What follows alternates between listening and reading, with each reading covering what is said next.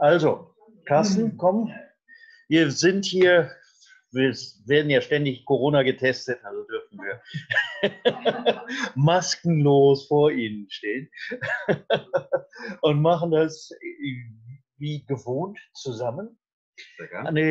Und wollen berichten Neues aus der Forschung und speziell den aktuellen Entwicklungsstand von neuen, also experimentellen Behandlungen bei der Huntington-Krankheit.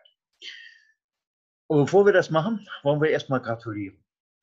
50 Jahre ist eine tolle äh, Sache und wir freuen uns, dass wir eine, also und trotz nicht stattfindender Veranstaltung im Augenblick herzlichen Glückwunsch ne, zu diesen 50 Jahren jetzt. Und wir freuen uns beide, dass wir einen Teil davon miterleben konnten und auch einen kleinen Beitrag leisten können. Es gibt Leute hier im Auditorium, die noch längeren Beitrag geleistet haben, das ist klar. Nicht? Also, wir machen das natürlich unter Bedingungen von Corona. Und das ist aus unserer Sicht, wir haben uns vorhin darüber unterhalten, sowohl eine Last und ein Problem vor allen Dingen für die Versorgung, vor allem für die Versorgung. Wir haben sehr viele Leute gesehen, die schlecht geworden sind, weil sie keine Krankengymnastik mehr gekriegt haben, keine Ergotherapie, keine Logotherapie mehr bekommen haben. Nicht? Aber wir haben auch festgestellt, dass es in den meisten Zentren in Deutschland gelungen ist, die Forschungsstudien fortzuführen und was wir als Vorteil sehen, die Schwelle, digitale Medien zu nutzen, hat sich geändert.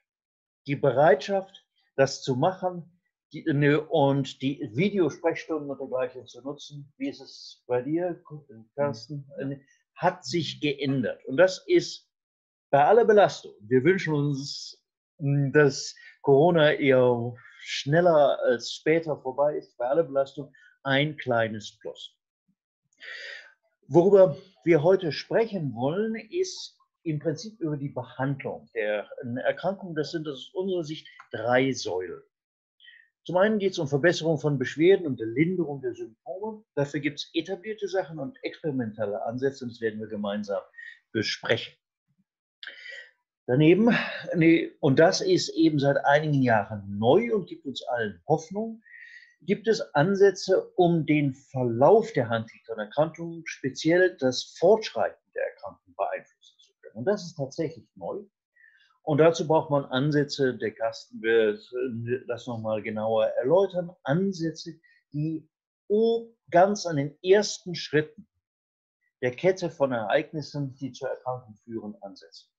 Und was wir berichten wollen, da das ja als Ansatz nicht neu ist, ist, was der gegenwärtige Stand der Dinge ist.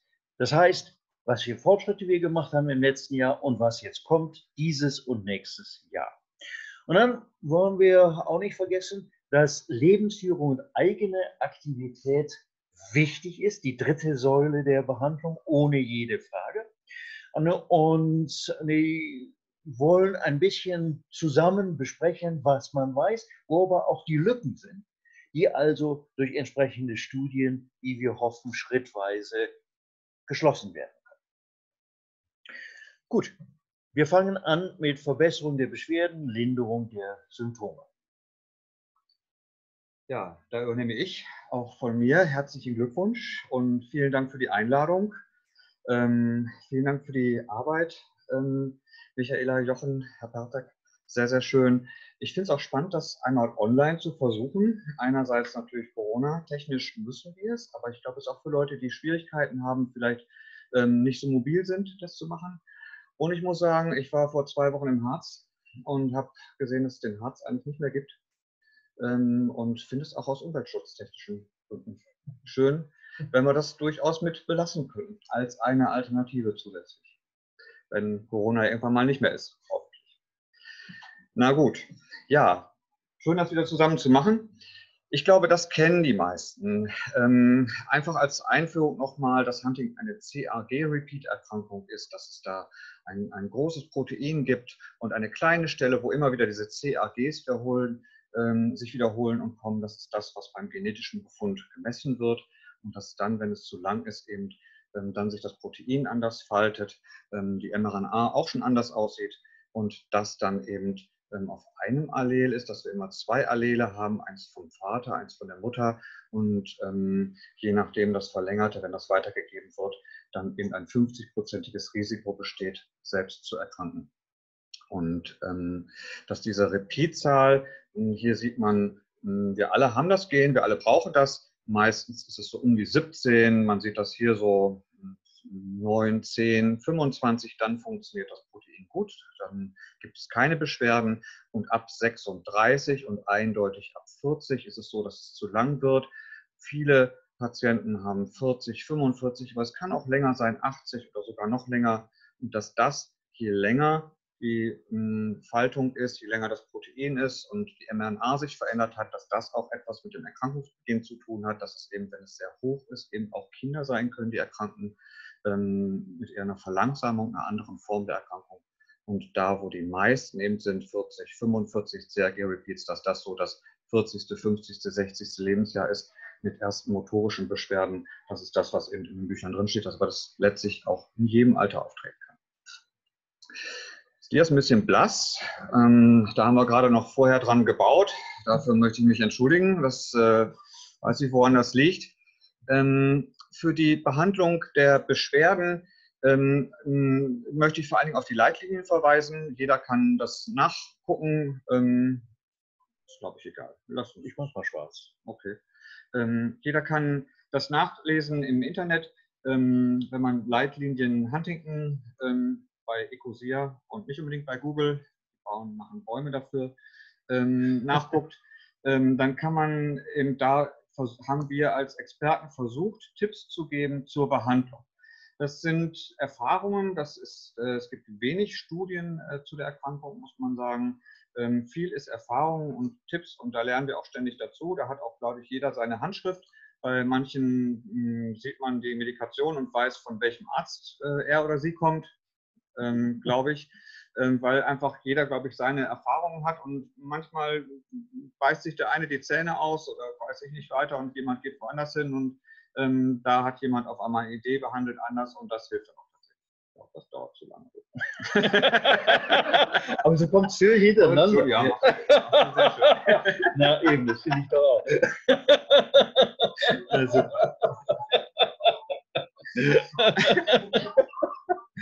Na gut.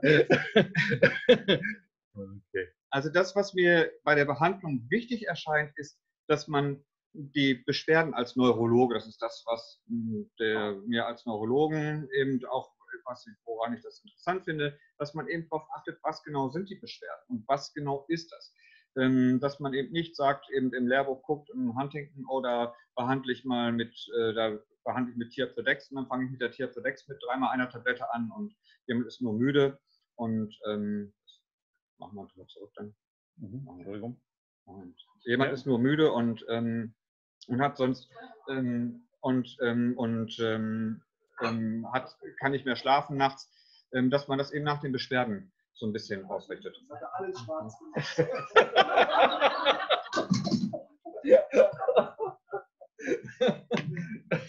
Na gut. Hm.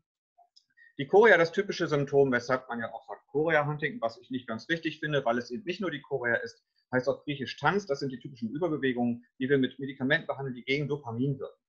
Äh, Dopamin ist das, was beim Parkinson-Patienten fehlt. Das heißt, wir machen künstlich ein Parkinson als Nebenwirkung. Und letztlich ist das für all diese Medikamente so. Es gibt ähm, viele Antidopaminergika, Neuroleptika im weitesten Sinn, die postsynaptisch wirken, hinten blockieren und hm, eins, was wir häufig einsetzen, das Tetrabenazin, was vorne auch den Speicher entleert. Ähm, alle haben ähnliche Nebenwirkungen und Wirkungen, können eben dieses Parkinsonoid oder Müdigkeit machen. Das Tetrabenazin kann zusätzlich auch noch Depression verschlechtern und auch eine Akathisie häufig machen, also Sitzunruhe. Ähm, viele Patienten haben aber eben nicht nur diese Chorea, sondern auch eine Dystonie. So eine Dyston heißt falscher Tonus, also eine verdrehte Arme oder, oder Beine oder auf dem Rumpf. Das ist, finde ich meiner Erfahrung nach, schwierig zu behandeln. Es gibt verschiedene Ansätze. Tetrabenazin vielleicht wird auch in einer Dystomiebehandlung eingesetzt. Haare stehen hier nicht wirklich. Also bedingt. Ich tendiere dazu, das, was mich tatsächlich am ehesten äh, überzeugt, und da können wir darüber diskutieren, ich habe es ja. mit dazu geschrieben, sind Cannabinoide bis jetzt. Mhm.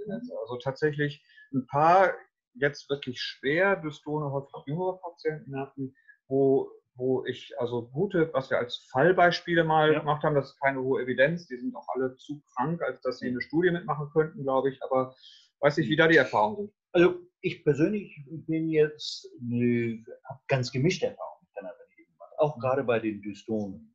Es gibt solche, wie kann ich dir nur zustimmen, die gut drauf reagieren. Es gibt aber auch andere, bei denen ich das nicht beobachte.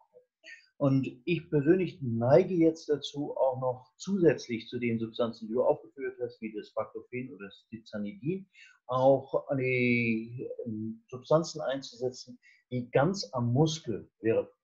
Mhm. Nicht? Also, und habe damit zum Teil ordentliche Erfahrungen gemacht. Also das sind die Substanzen, die direkt an den Calciumkanälen ansetzen, die man für maligne Hyperthermie einsetzen würde, zum Beispiel. Und, und das scheint auch eine gewisse Wirksamkeit zu haben. Aber ich glaube, wir sind uns ganz einig, dass die Dystonie schwer zu behandeln ist. Und das Übliche, was man macht, die Injektion von Botulinumtoxin bei so generalisierten Formen der Dystonie problematisch ist und nur für ganz bestimmte äh, Symptome und ganz bestimmte Patienten, meine ich jedenfalls, hilfreich ist sehe ich genauso. Ja. Natürlich auch die, die, Cannabinoide auch schwierig, wenn es äh, äh, Psychosen gibt, wenn es andere Sachen, wo wo es schwierig ist, das einzusetzen. Hm, eine Gruppe von Patienten äh, habe ich immer wieder, die mit der, mit der Dystonie, ähm, so, okay. die Patienten, die mit der Dystonie, äh, mit, mit, der, mit der Chorea eine Überbewegung haben, die ein bisschen anders aussieht, ein bisschen ruckartiger ist. Ich mal Myoklonus, also ruckartige Bewegung, wo ich an Patienten erinnere, wo, ich, wo man mit dem, mit dem Thiaprit oder Tetrabenazin-Medikation mir die Zähne ausgebissen habe und es nicht geklappt hat. Und es dann bei diesen wenigen Patienten tatsächlich mit Valproat, ein Medikament, was man Antiepileptikum eigentlich für Myoklonus einsetzt.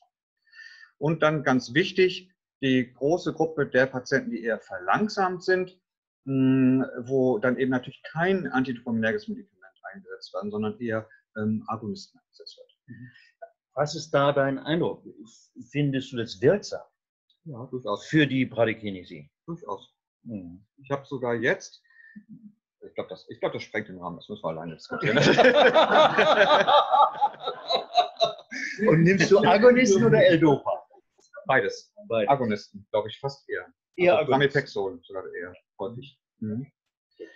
Ähm, psychiatrisch, auch das würde den Rahmen sprengen. Natürlich Antidepressiva.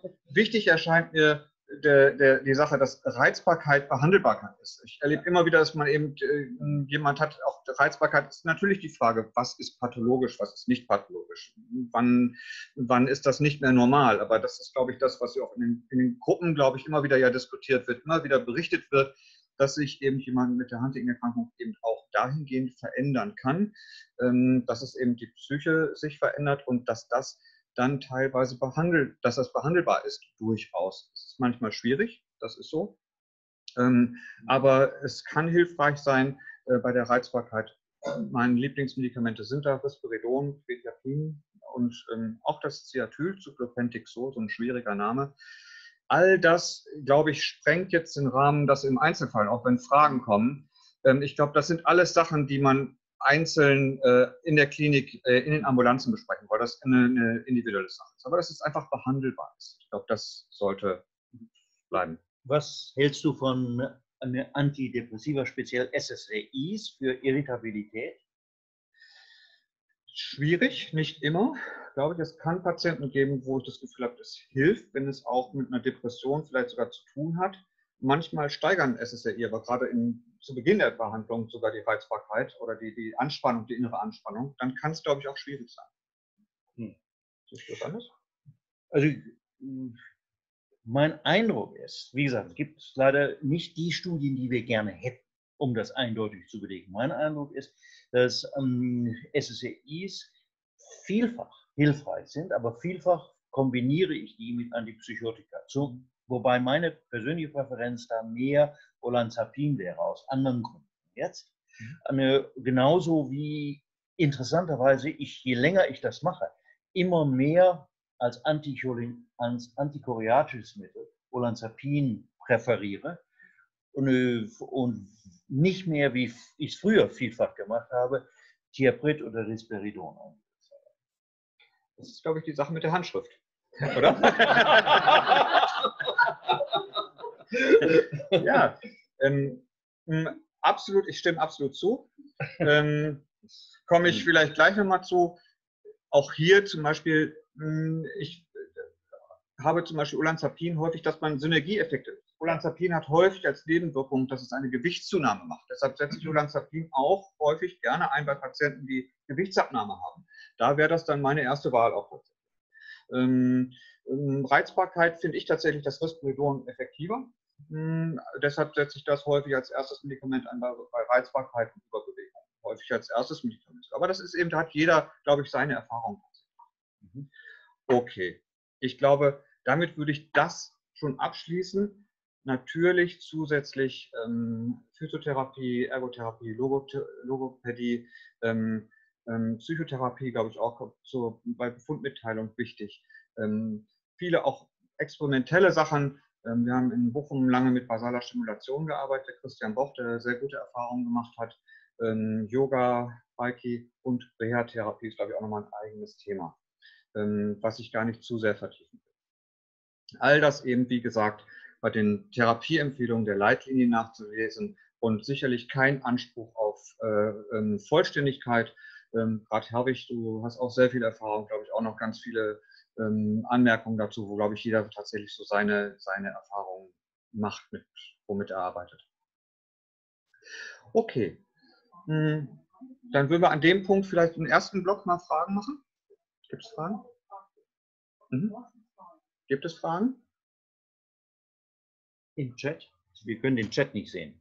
Im Moment gibt es keine Fragen, bis auf eine. Es wird, es wird empfohlen, die nächste Folie.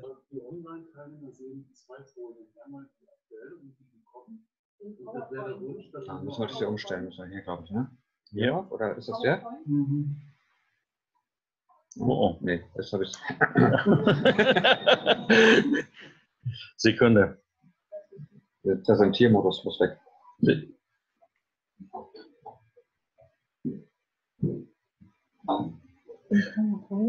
Ja. Aber dann haben, haben wir oben Präsentiermodus. So. Besser. Besser? Hoffen wir. Okay. Mhm wie gesagt, da sind, glaube ich, auch Fragen schwer zu beantworten. Es ist am besten, das, glaube ich, vor Ort zu machen. Gut, dann geht es eigentlich mehr in Richtung Forschung schon in die, die, verschiedenen Bezeichnungen. Wie kann man die Krankheit verzögern? Wie kann man die, den Krankheitsverlauf beeinflussen? Wie kann man die mhm. Krankheit beeinflussen? Bis jetzt in den Leitlinien nach strengen wissenschaftlichen Kriterien, muss man sagen, haben wir keine neuroprotektive kausale Therapie tatsächlich äh, mit der wir die Krankheit ähm, ein, den Verlauf beeinflussen können. Es gab sehr viele Forschung dazu und dazu habe ich dieses Dia, was ich da ganz gerne zeige, dass wenn man sich eben vorstellt, dass das eine Zelle ist hier, der Zellkern mit den Chromosomen, den Genen da drin, dann haben wir bis zu 100 Billionen Zellen in einem Menschen. Und ähm, in diesen Zellen, besonders im Gehirn, wird das Huntingtin häufig abgelesen und das führt im Laufe des Lebens dann zu diesen Aggregaten, zu diesen Proteinen, die dann den Ablauf in der Zelle stören. Die ganze Zelle kann nicht mehr richtig arbeiten. Ähm, das ist der Bereich, in dem wir versuchen wollen, das so zu behandeln. Wenn die Zelle irgendwann abgestorben ist, können sie natürlich nicht mehr behandeln. Aber es gibt einen langen Bereich vorher, wo eine Dysfunktion ist, wo sie nicht richtig funktioniert, die Mitochondrien nicht richtig funktionieren. All diese Ansätze hat man viel erforscht äh, darum. Es gibt ähm, nicht nur die Nervenzellen, sondern auch Zellen, die mit der Entzündung, Ernährung der Nervenzelle zu tun haben, die Mikroglia. Ähm, auch da gab es Ansätze und man hat viele, viele Forschungsansätze gemacht an den Rezeptoren außen. Die Riluzol-Studie, eine der größten Studien, ähm, die wir 1999, 2000 angefangen haben, leider negativ, wo man die Erregbarkeit der Zelle beeinflussen wollte. Ähm, Vitamine, Coenzym Q10, Kreatin, viele Ansätze, ähm, die hm, fraglichen Hinweise hatten, dann aber leider ähm, negativ waren in den großen Studien, wie auch vieles andere. Etwas langsam, okay.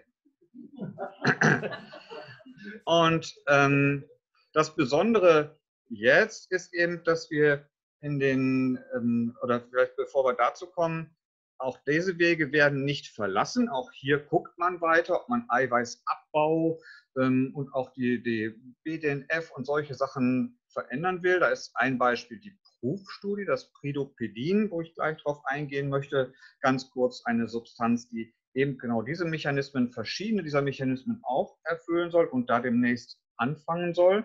Da gehen wir gleich drauf ein.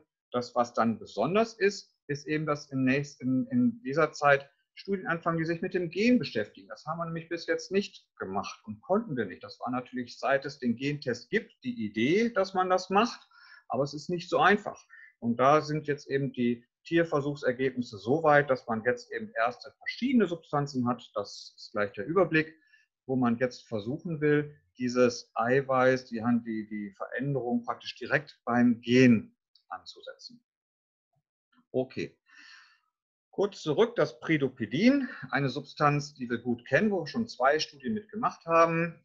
Eine war die PRIDE-Studie verschiedenen Dosierungen. Das Wichtigste ist, dass es sehr gut verträglich war eigentlich, die Substanz, und man damals die Studien gemacht hat, eigentlich um die Motorik, die Beschwerden zu verbessern in dem Motorscore hm, der Patienten.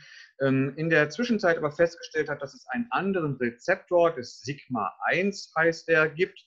Und da dieses Medikament viel eher wirkt und der hat ganz positive Auswirkungen auf Stress der Zelle, auf einen Wachstumsfaktor, also all das, was wir da vorher hatten, verschiedene Sachen. Und so, dass es jetzt eine neue Studie gibt, die Proof-Studie, die in den nächsten Wochen anfangen soll. Hm, und ähm, Herr Reilmann in Münster ist äh, PI für diese Studie in Europa mit 480 Teilnehmern 65 Wochen soll untersucht werden, ob zweimal täglich eine Tablette ist das, hm, ähm, hilfreich ist, den Krankheitsverlauf zu stabilisieren.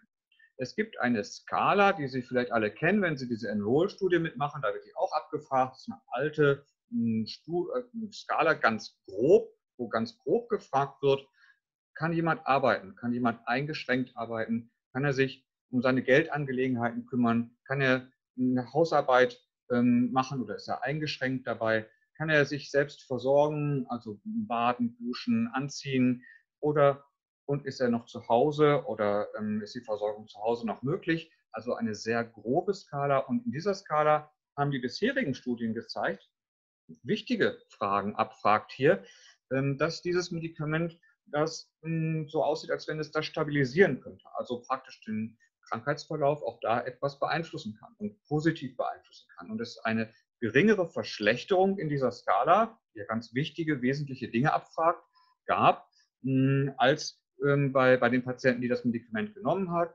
haben, als in den anderen, in den bisherigen Skalen, in Studien. Das war aber bis jetzt nie das Ziel. Und das soll jetzt die Fragestellung sein bei dieser Studie, deshalb auch mit relativ vielen Teilnehmern, auch schon als Phase 3, also auch etwas, was dann tatsächlich auch als um Zulassung geht. Hm, deshalb sehr, sehr interessant, glaube ich. Und durchaus auch so, dass hier Teilnehmer mitmachen können, die in diesen Skalen sieben Punkte erreichen oder mehr. Das heißt eben teilweise, teilweise, teilweise Teilnehmer, die auch schon etwas mehr betroffen sind, ähm, die vielleicht an den anderen äh, Studien nicht unbedingt mitmachen. Hast du da noch einen Kommentar zu? Oder? Nein, also nur vielleicht als Ergänzung. Es ist, weil ja, wie Carsten betont hat, ist über einen langen Zeitraum schon die Studie, dieses Medikament in Studien geprüft worden ist, gibt es auch Langzeitbeobachtungen jetzt. Und es sind diese Langzeitbeobachtungen an allerdings nur wenigen Menschen, die den Eindruck, da könnte etwas dran sein, betonen. Ob es so ist, das werden wir durch so eine Studie rausbekommen, wie sie jetzt geplant ist, die Proof-HD-Studie. Und das halte ich für ganz, ganz wichtig. Wir wissen, dass dieses Medikament relativ gut verträglich ist. Es führt zum Beispiel nicht dazu, dass die kognitive Geschwindigkeit sinkt, wie das bei vielen anderen Medikamenten der Fall ist. Äh, aber die entscheidende Frage ist, hat es langfristig gegeben einen günstigen Einfluss auf den Funktionszustand? Und da, dafür werden wir hoffentlich, und das ist, sehe ich als einen großen Fortschritt, Antworten finden. klare Antworten und nicht auf Raten angewiesen sein. Mhm. Von den Zentren, glaube ich, sind mir die drei in Münster, Bochum, Ulm im Moment bekannt. Ich weiß nicht, wie es. Ist noch nicht ist definitiv, noch nicht klar, ne? glaube ich. Das ist, glaube ich, noch nicht klar. Okay. Also Vielleicht auch noch ein Taufkirchen Punkt. ist auch. Ähm, es wäre gut zu kombinieren, auch mit anderen Ansätzen. Das wäre jetzt ja praktisch nochmal ähm, auch ein Gedanke, dass wir vielleicht später mal zur Kombinationstherapie kommen. Das wäre sicherlich was, was man zusätzlich kombinieren könnte. Den Eindruck hätte ich auch. Also, und so ist es vielleicht auch, dass wir nicht immer nur uns auf das fokussieren sollten, was große Effekte hat, sondern Kleinvieh macht auch Mist, sagt man. Und, und kleine Verbesserungen sind, können hilfreich sein. Mhm. Okay, dann zu dem, was eben dieser Balken in den Chromosomen war, dass wir eben tatsächlich Ansätze jetzt diskutieren können, auch schon in den letzten Sitzungen diskutiert haben, die tatsächlich ja Gene Silencing, das Gen, also eigentlich eher das Huntingtin, das der Name ist ganz nicht richtig, ähm, das Huntingtin reduzieren soll. Die Idee, dass das hilfreich sein könnte, geht auf eine wesentliche Arbeit aus dem Jahr 2000 schon zurück, wo man an Mäusen hm, ein, ein Experiment gemacht hat, was man bei Menschen nicht machen kann, wo man einen Schalter sozusagen eingebaut hat und mit diesem Schalter das Huntingtin-Gen bei den Mäusen an- und ausschalten kann. Das ist, den Schalter hat der Mensch nicht, das kann man es machen, den hat man künstlich bei der Maus eingebaut. Und wenn man diesen Schalter mh, hm, ähm, hat erst ausgestellt, die Maus krank geworden ist, dann ist es bemerkenswert, dass wenn man dann den Schalter umgelegt hat, teilweise eine gewisse Verbesserung der Funktion bei den Mäusen sogar da war. Sie sind wieder etwas gesünder geworden. Das heißt, das war so ein bisschen ein Hinweis darauf, dass wenn dieses Eiweiß, was sich in den Zellen die ganze Zeit ablagert und die Funktion der Zelle stört, wenn man das rückgängig machen könnte, dass es dann vielleicht theoretisch sein könnte, dass man noch nicht mal nur eine Stabilisierung der Erkrankung hinbekommt, sondern zumindest ein kleines bisschen, wahrscheinlich nicht vollständig, aber zum gewissen Teil sogar eine gewisse Verbesserung denkbar wäre, wenn das gelingt. Das ist natürlich hypothetisch und das ist nicht unbedingt das, das was wir jetzt erwarten dürfen, aber erstmal ein wichtiger Hinweis darauf, dass der Ansatz erstmal richtig ist. Ist aber auch die Frage, wenn ich das Huntingtin reduziere, das Eiweiß, hm, das braucht der Körper ja auch. Und ähm, es ist ein wichtiges Protein, ähm, was viele verschiedene Funktionen hat ähm, wie weit kann ich das überhaupt machen oder schade ich dann jemandem sogar mehr, als dass ich ihm helfe? Und da ist jetzt vor kurzem in JAMA, einer wichtigen Zeitschrift, ein schönes Paper erschienen, ähm, was hier so eine grobe Übersicht macht. Das ähm, Wichtigste ist, dass man, wenn man die Huntingtin-Allele in der Maus, das sind die Mäuse hier auf der rechten Seite, bei der Maus beide ausschaltet, dass dann die Maus im Embryonalstadium verstirbt. Das heißt, Gerade bei der Gehirnentwicklung hat das Huntingtin-Protein eine ganz wichtige Rolle.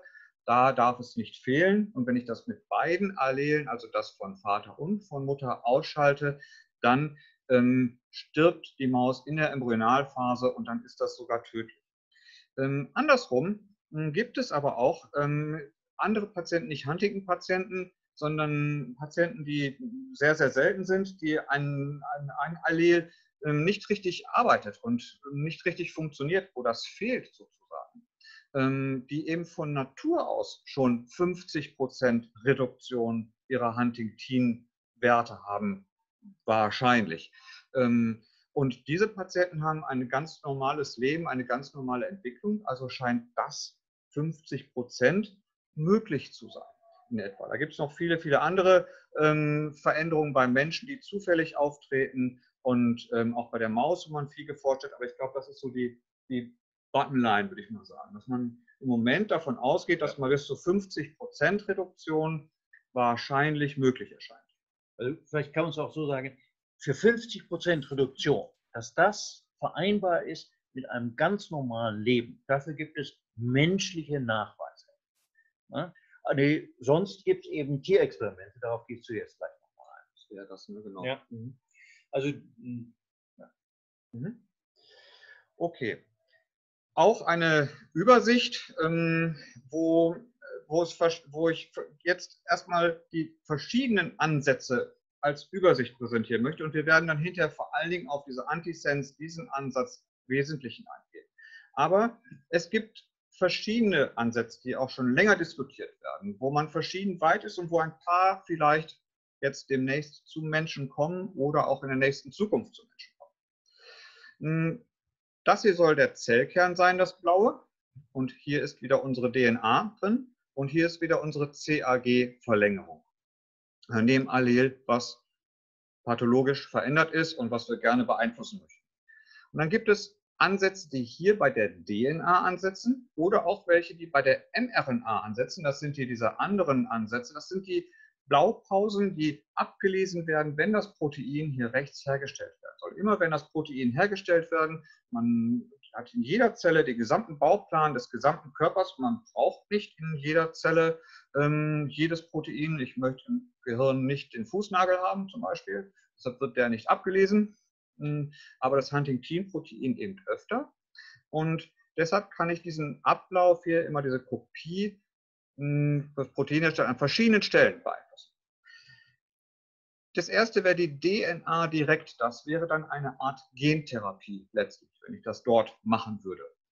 Und dazu gibt es bis jetzt vor allen Dingen Ideen, die sind noch nicht so weit, dass man sie tatsächlich beim Menschen einsetzt. Das ist einmal diese Genschere CRISPR-Cas, ähm, die sicherlich viele schon gehört haben, was immer wieder auch in den Medien ist, ähm, vor kurzem erst Nobelpreis gegeben hat und entdeckt worden ist. Das ist ein Mechanismus, mit dem sich eigentlich Bakterien gegen Viren schützen, äh, den man dort entdeckt hat und den man einsetzen kann, um die DNA an sich zu verändern. Ähm, für mich in meiner Einschätzung noch das, was am weitesten weg ist, ähm, wäre natürlich eine grundlegendste ähm, therapeutische Ansatz, aber noch mit sehr vielen Schwierigkeiten verbunden, dass es an Stellen wirkt, wo es gar nicht unbedingt wirken soll, sondern nicht nur an der handigen Stelle. Ähm, man muss es auch in die Zellen reinkriegen. Da hat man bei anderen, anderen Sachen aber auch das Problem, dass man mit Viren arbeitet. Aber vor allen Dingen diese, diese, diese der Ansatz, ähm, noch woanders vielleicht sogar der Off-Target-Effekt an falschen Stellen schneidet, glaube ich, ein Hauptproblem. Das nächste sind die Zinkfingerproteine, hier mit ZFP abgekürzt. Zinkfingerproteine ein, meiner Ansicht, Ansicht nach ein sehr interessanter Ansatz, ähm, der ähm, Gehen nochmal nachher drauf. Wir genauer drauf ein, ne? genau. Ähm, der, der praktisch ähm, sich in die DNA hineinlegt und dadurch die mRNA nicht mehr abgelesen wird. Zwei, äh, die Firma Takedo in Japan ist da drin. Und auch hier in dieser Grafik das Talen noch nur erwähnt. Ähm, auch ein bisschen ältere Arbeit schon, die das macht, die das auch mit Proteinen, die das mit beeinflussen soll. Das scheinen ein paar Zwischenfragen mhm. zu sein, können wir gerne beantworten. Hier an der Stelle, wenn, mhm. ja, wenn wir sie sehen. Oder müssten sie vor, wir müssten sie vorgelesen bekommen, glaube ich. Oder wollen wir erst das Dia ja, zu machen wir vielleicht dann, das Dia zu Ende.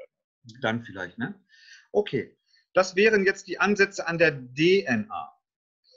Die mRNA, eben die Blaupause, die jedes Mal abgelesen wird, wenn das Protein gebraucht wird, die verändert sich zwischenzeitlich nochmal. Die wird umgebaut. Da gibt es sogenannte Splicing-Mechanismen.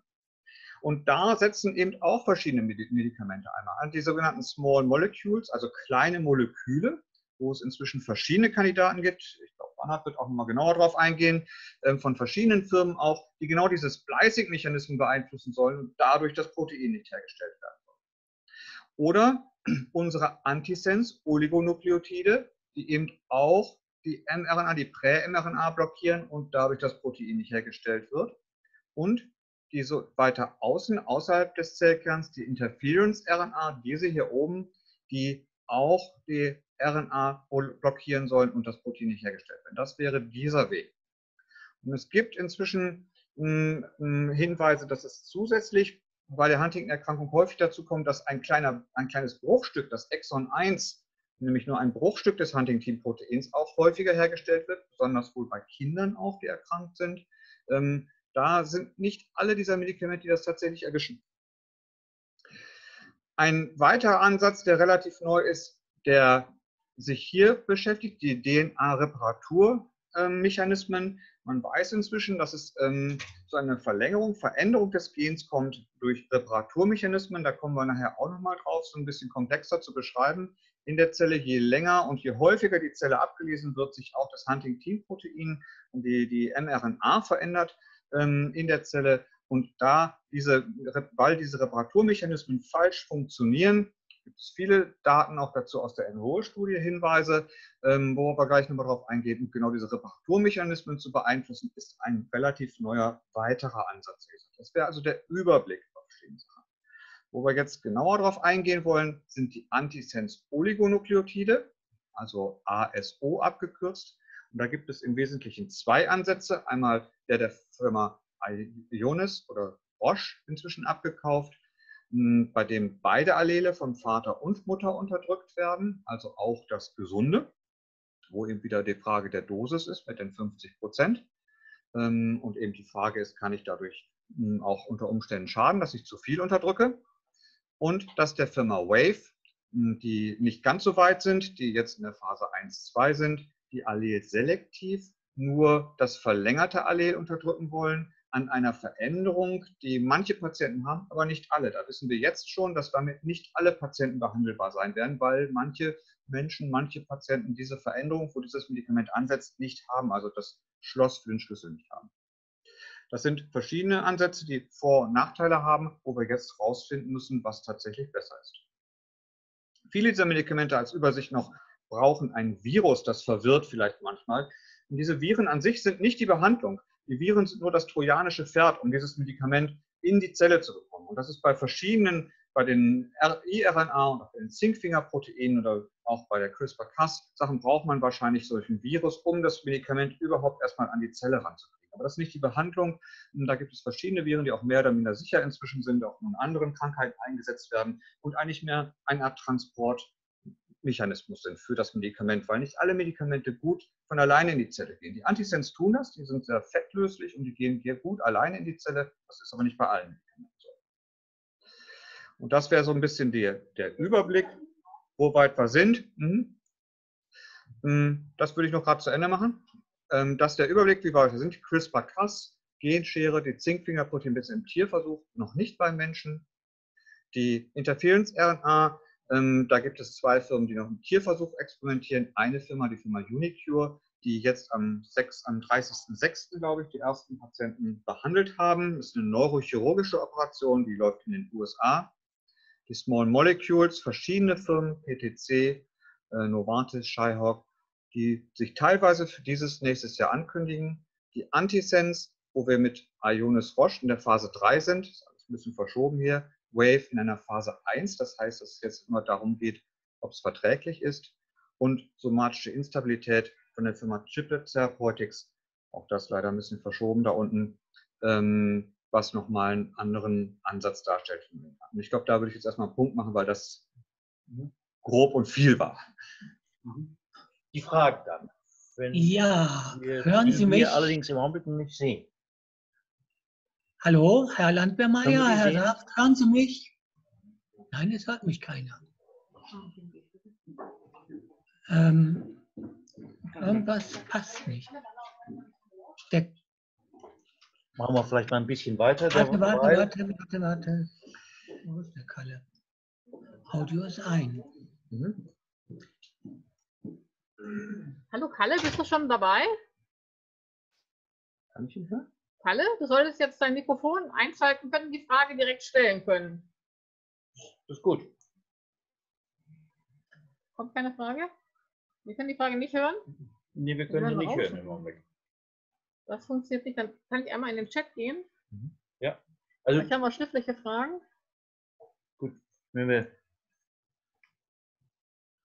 Vortrag wird gespeichert, ja. Das machen wir, genau. Das sind nur alte Fragen von vorhin. Das war nur eine Technik, keine inhaltlichen Fragen. Okay. Ähm, Kalle, wir können dich gerade nicht hören. Also wenn, gib noch mal eine Chance, wenn du jetzt dein Mikrofon freischaltest, dann könntest du eine Frage direkt stellen. Wir sehen, dass du da bist, Kalle. Bist du dein Mikrofon einschalten?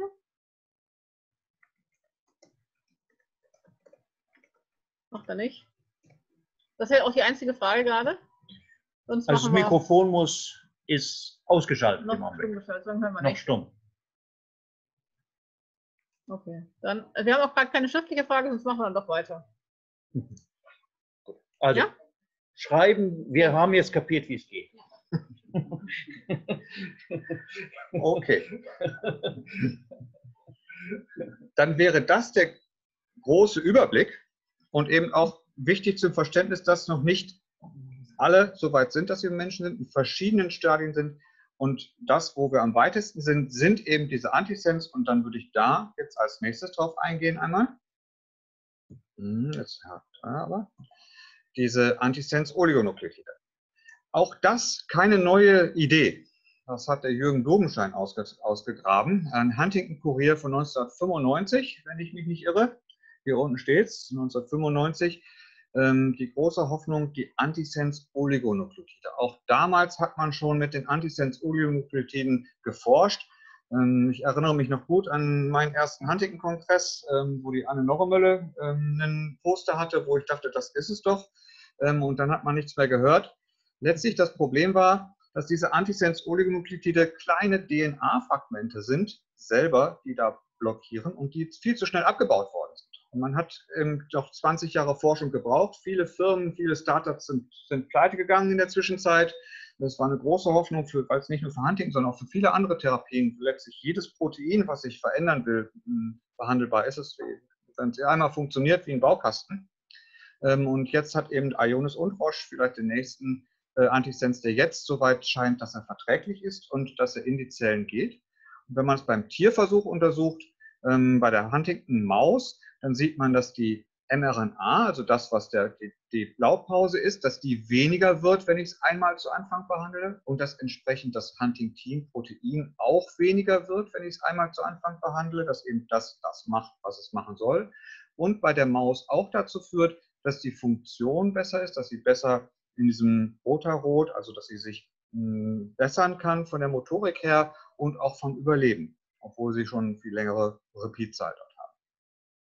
Das heißt, als wir mit der Studie angefangen haben, ähm, hatten wir eine Menge Fragen, ob das überhaupt von der Prozedur her funktioniert. Normal, das wird als nicht als Tablette gegeben werden kann. Das wäre ein Stück DNA, so wie im Fleisch auch ein Stück DNA drin ist, würde ich es verdauen. Muss es ins Nervenwasser gespritzt werden, also eine Lumbalpunktion im Rücken, ein Peak was für uns Neurologen nicht so was Besonderes ist, ein bisschen wie eine Blutabnahme. Ähm, aber natürlich ist es, ähm, es ist erstmal unangenehm und es war erstmal die Frage, ähm, wie funktioniert das überhaupt? Und es kann bei dieser Punktion, ähm, dadurch, dass das Nervenwasser, was so ein bisschen die Hydraulikfederung des Gehirns ist, ähm, entnommen wird, Kopfschmerzen geben, die am nächsten Tag auftreten. Nicht gleich danach, sondern am, am Tag danach oder auch mehrere Tage nach. Und das kann unangenehm sein, was aber bis jetzt wie ich finde, relativ gut funktioniert, weil wir auch etwas dazugeben, nicht nur entnehmen, Nervenwassermedikament dazugeben. Es hat bei Affen, bei denen man das als große Tiere auch vorher getestet hat, eine Reflexabschwächung gesehen. Die haben wir bis jetzt nicht unbedingt gesehen bei Patienten. Das ist die Frage, ob man irgendwie Antikörper entwickelt. Das gab es bei Tieren vorher, das haben wir auch nicht unbedingt gesehen man eine Fehlregulation hat, ob man das, das, ob das Medikament die Krankheit, das Huntingtin-Protein zu sehr reduziert und damit eine Verschlechterung der Krankheit macht und verteilt es sich überhaupt in die Areale richtig, in die wir wollen. Und das hat dazu geführt, dass wir hier in Deutschland mit, mit Ulm und Bochum ähm, und die Ulmer Kollegen ähm, 2016 im Januar angefangen haben, die ersten Patienten zu behandeln und ähm, was man in dieser CS1-Studie festgestellt hat, ist eben, dass das Eiweiß entsprechend der Dosis, je höher die Dosis ist, das Huntington-Eiweiß reduziert wurde. Ähm, das ist sehr gut, dass also das passiert ist, was man nachgucken wollte, dass das Huntington-Eiweiß weniger geworden ist. Und hm, das hat so vor zwei Jahren, habe ich das schon mal präsentiert, das waren so die ersten Daten, was, ähm, dass man tatsächlich auch gesehen hat, wenn ich das Eiweiß reduziere, hier 20, 40, 60, 80 prozentig und das mit dem Motorscore, also der Motorik, in Verbindung setze, dann kann man hier sogar erahnen, ob es sogar eine leichte Verbesserung mit der Reduktion gibt. Ähm, das hat uns sehr euphorisch gemacht. Ich muss sagen, inzwischen gibt es, ähm, werden die Patienten weiter behandelt und ich glaube, es ist ein sehr gemischtes Bild, das nicht alle tatsächlich so stabil ist. Wir hoffen weiterhin, dass wir eine Stabilisierung dadurch erreichen können. Und dazu läuft ja im Moment von dem Ionis jetzt Roche-Antikörper die Phase 3-Studie, wo das an 800 Patienten überprüft wird. Vielleicht das noch, und dann würde ich, glaube ich, erstmal übergeben. Das, was in der Publikation, die inzwischen raus ist, auch gesehen worden ist, auch als kritische Werte, die wir diskutieren müssen, ist, dass man ähm, einen Wert, denn das Neurofilament, das ist ein Wert, der immer erhöht ist, wenn Nerven geschädigt sind, also nach einem Schlaganfall, nach einer, bei einer Multiple Sklerose, egal woher, ähm, auch bei der Huntington-Erkrankung an sich schon erhöht ist, ähm, dass man den natürlich eigentlich reduzieren möchte im Verlauf dass er weniger wird, dass man dort aber gesehen hat, dass es nach der vierten Gabe zu einer Erhöhung ähm, des Wertes kam, ähm, gerade in den höheren Dosen, 90 und 120 Milligramm und dass es in den regelmäßigen Kernspin-Kontrollen eine Erweiterung des Ventrikelsystems gibt. Und das stellt sich natürlich die Frage, ist das jetzt tatsächlich eine Schädigung? Ähm, werden da Zellen abgebaut? Ähm, es gibt jetzt neuere Daten, wo wir, ähm, das waren jetzt Daten aus dieser ersten Studie, wo 46 Teilnehmer über sechs Monate nur mitgemacht haben und die viermal diese verschiedenen Dosierungen bekommen haben im Abstand von vier Wochen. Ähm, gibt es inzwischen Daten aus einer Folgestudie, wo diese 46 Leute weitermachen durften, wenn sie wollten. Alle wollten das. Ähm, und dass dann vier oder acht Wochen die 120 Milligramm als höchst verträgliche Dosis bekommen haben. Man gesehen hat, dass es wieder etwas weniger wird vom Neurofilament und sich einzuregulieren scheint, dass es wahrscheinlich daran liegt, dass das Eiweiß, hm, dass der Antisens dazu führt, dass das Eiweiß nicht richtig resorbiert wird und das Nervenwasser nicht richtig resorbiert wird und dadurch eine, eine Art Wasserstau gibt, sozusagen, was dann eine potenzielle Nebenwirkung, die diskutiert wird. All diese Teilnehmer können jetzt, machen im Moment in der weiteren Verlängerung mit, wo sie alle acht oder 16 Wochen das Medikament kriegen. Es gab in der Zwischenzeit eine Studie, wo Patienten, die kein Medikament gekriegt hat, als Vergleichsgruppe zu dieser Studie gemacht, wo man sehen will, ob man da Hinweise auf Wirksamkeit sieht. Ähm, und es gibt vor allen Dingen jetzt die Phase 3 Studie mit 800 Teilnehmern, wo alle acht oder 16 Wochen das Medikament mit 120 Milligramm gegeben wird, über zwei Jahre. Hm, die war im April, Mai voll. Das heißt, wir müssen da jetzt noch zwei Jahre etwa warten, bis wir die Ergebnisse haben und hoffen, dass Corona uns nicht zu sehr den Ablauf der Studie ähm, beeinträchtigt, ähm, dass es trotzdem vielleicht eine Verlängerung gibt, aber die Studienauswertung möglich sein wird. Okay, ich glaube an der Stelle jetzt, was ist das jetzt? Da glaube ich, da wollten wir du mal übernehmen jetzt oder? Ja. Ja, wir gucken mal im Chat. Der Chat ist gut. Ich glaube, Chat ist besser. Hallo, hört ihr uns? Der Ton stockt immer wieder. Ach so. Okay. Wie hallo, oft hallo? kann man eine LP durchführen? So oft man will. ähm, wir haben bei uns in Bochum viele äh, Multiple Sklerose-Patienten. Ähm, es gibt äh, manche Kliniken, die das machen. Äh, nicht alle Kliniken, wo man bei Multiple Sklerose auch Patienten praktisch eine Art kristallines Cortison in den Nervenkanal spritzt, Volon A, äh, was wir in Bochum seit, seit, ja, seit schon immer, glaube ich, machen, äh, wo manche Patienten, bestimmte Patienten gut von profitieren, äh, die teilweise das als erstmal zur Aufsättigung ähm, dreimal in zwei Wochen bekommen. Ähm, also am Mittwoch, am Freitag und am nächsten Dienstag oder Montag nochmal eine Punktion bekommen. Dabei sieht man häufig, dass die Nerv, die Zellen im Nervenwasser erhöht sind als Reiz. Etwas, was wir auch jetzt bei der Antisense-Studie gesehen haben, eine Reizpleozytose, also dass der Reiz, äh, die, die Zellen hochgehen, aber es keine richtige Entzündung ist in dem Sinne. Das sieht man bei diesen Patienten eben auch. Ähm, und die kommen dann alle äh, drei Monate wieder und wir haben viele Patienten, die das schon seit zehn Jahren machen. Ähm, also die Durchführung der Lumbalpunktion ist nicht angenehm. Ja, es ist ein Peak im Rücken. Die Kopfschmerzen können wirklich unangenehm sein, das muss man sagen. Ähm, aber sonst in der Regel ist es eigentlich gut möglich und eben auch diese Patienten, die hier seit 2016 das machen, die machen das ja auch schon jetzt praktisch jeden Monat äh, teilweise oder alle zwei Monate eine Punktion seit 2016, haben auch schon jetzt einige Punktionen hinter sich. Mhm. Gut. Ja, habe ich eine Frage. Habe ich, ja. Einmal ähm, hat ja äh, die Open-Label-Studie ergeben, dass man äh, mit zwei monatlichen Injektionen weniger Reizzustände am Nervenwasser macht, mhm. was auch zwingend erforderlich reduzieren. Aber was nicht nachgeliefert wurde, ist, wie sich der Ventrikel weiterentwickelt. Mhm. wissen wir, dass Bluetooth ist, das eigentlich nicht. Aber von dem Drittel wurde jetzt leider nichts. Das gibt da neue Informationen. Nein, auch nichts. Auch nur das, was, wir, was publiziert ist. Also auch da ist richtig, äh, Ventrikelweite wurde, wurde nicht nochmal neu berichtet bis jetzt. Ähm, man kann die neuen Daten auf der, auf der Homepage, äh, HD Bus Homepage sicher angucken, bei dem Scott Scoble äh, vom Palm Springs den Vortrag, wo wir, glaube ich, auch gleich noch Folien sehen. Ne? Ja, also ich meine, die, das ist noch nicht endgültig so ausgewertet, wie man das möchte, aber es ist natürlich ein Parameter, auf den es ankommt. Und das ich führe das gleich noch ein bisschen weiter hier und dann machen wir danach eine Pause, eine, dass alle wieder wach werden. Gut, also, aber noch ganz kurz die, hier, die, um was es geht. Die Kernfrage heißt, was ist die richtige Dosis? Und richtige Dosis heißt nicht nur absolute Menge, die man reinspritzt, sondern auch wie häufig spritzt man das. Ja?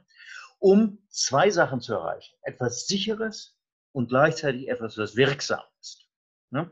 Das ist das, worum es uns geht.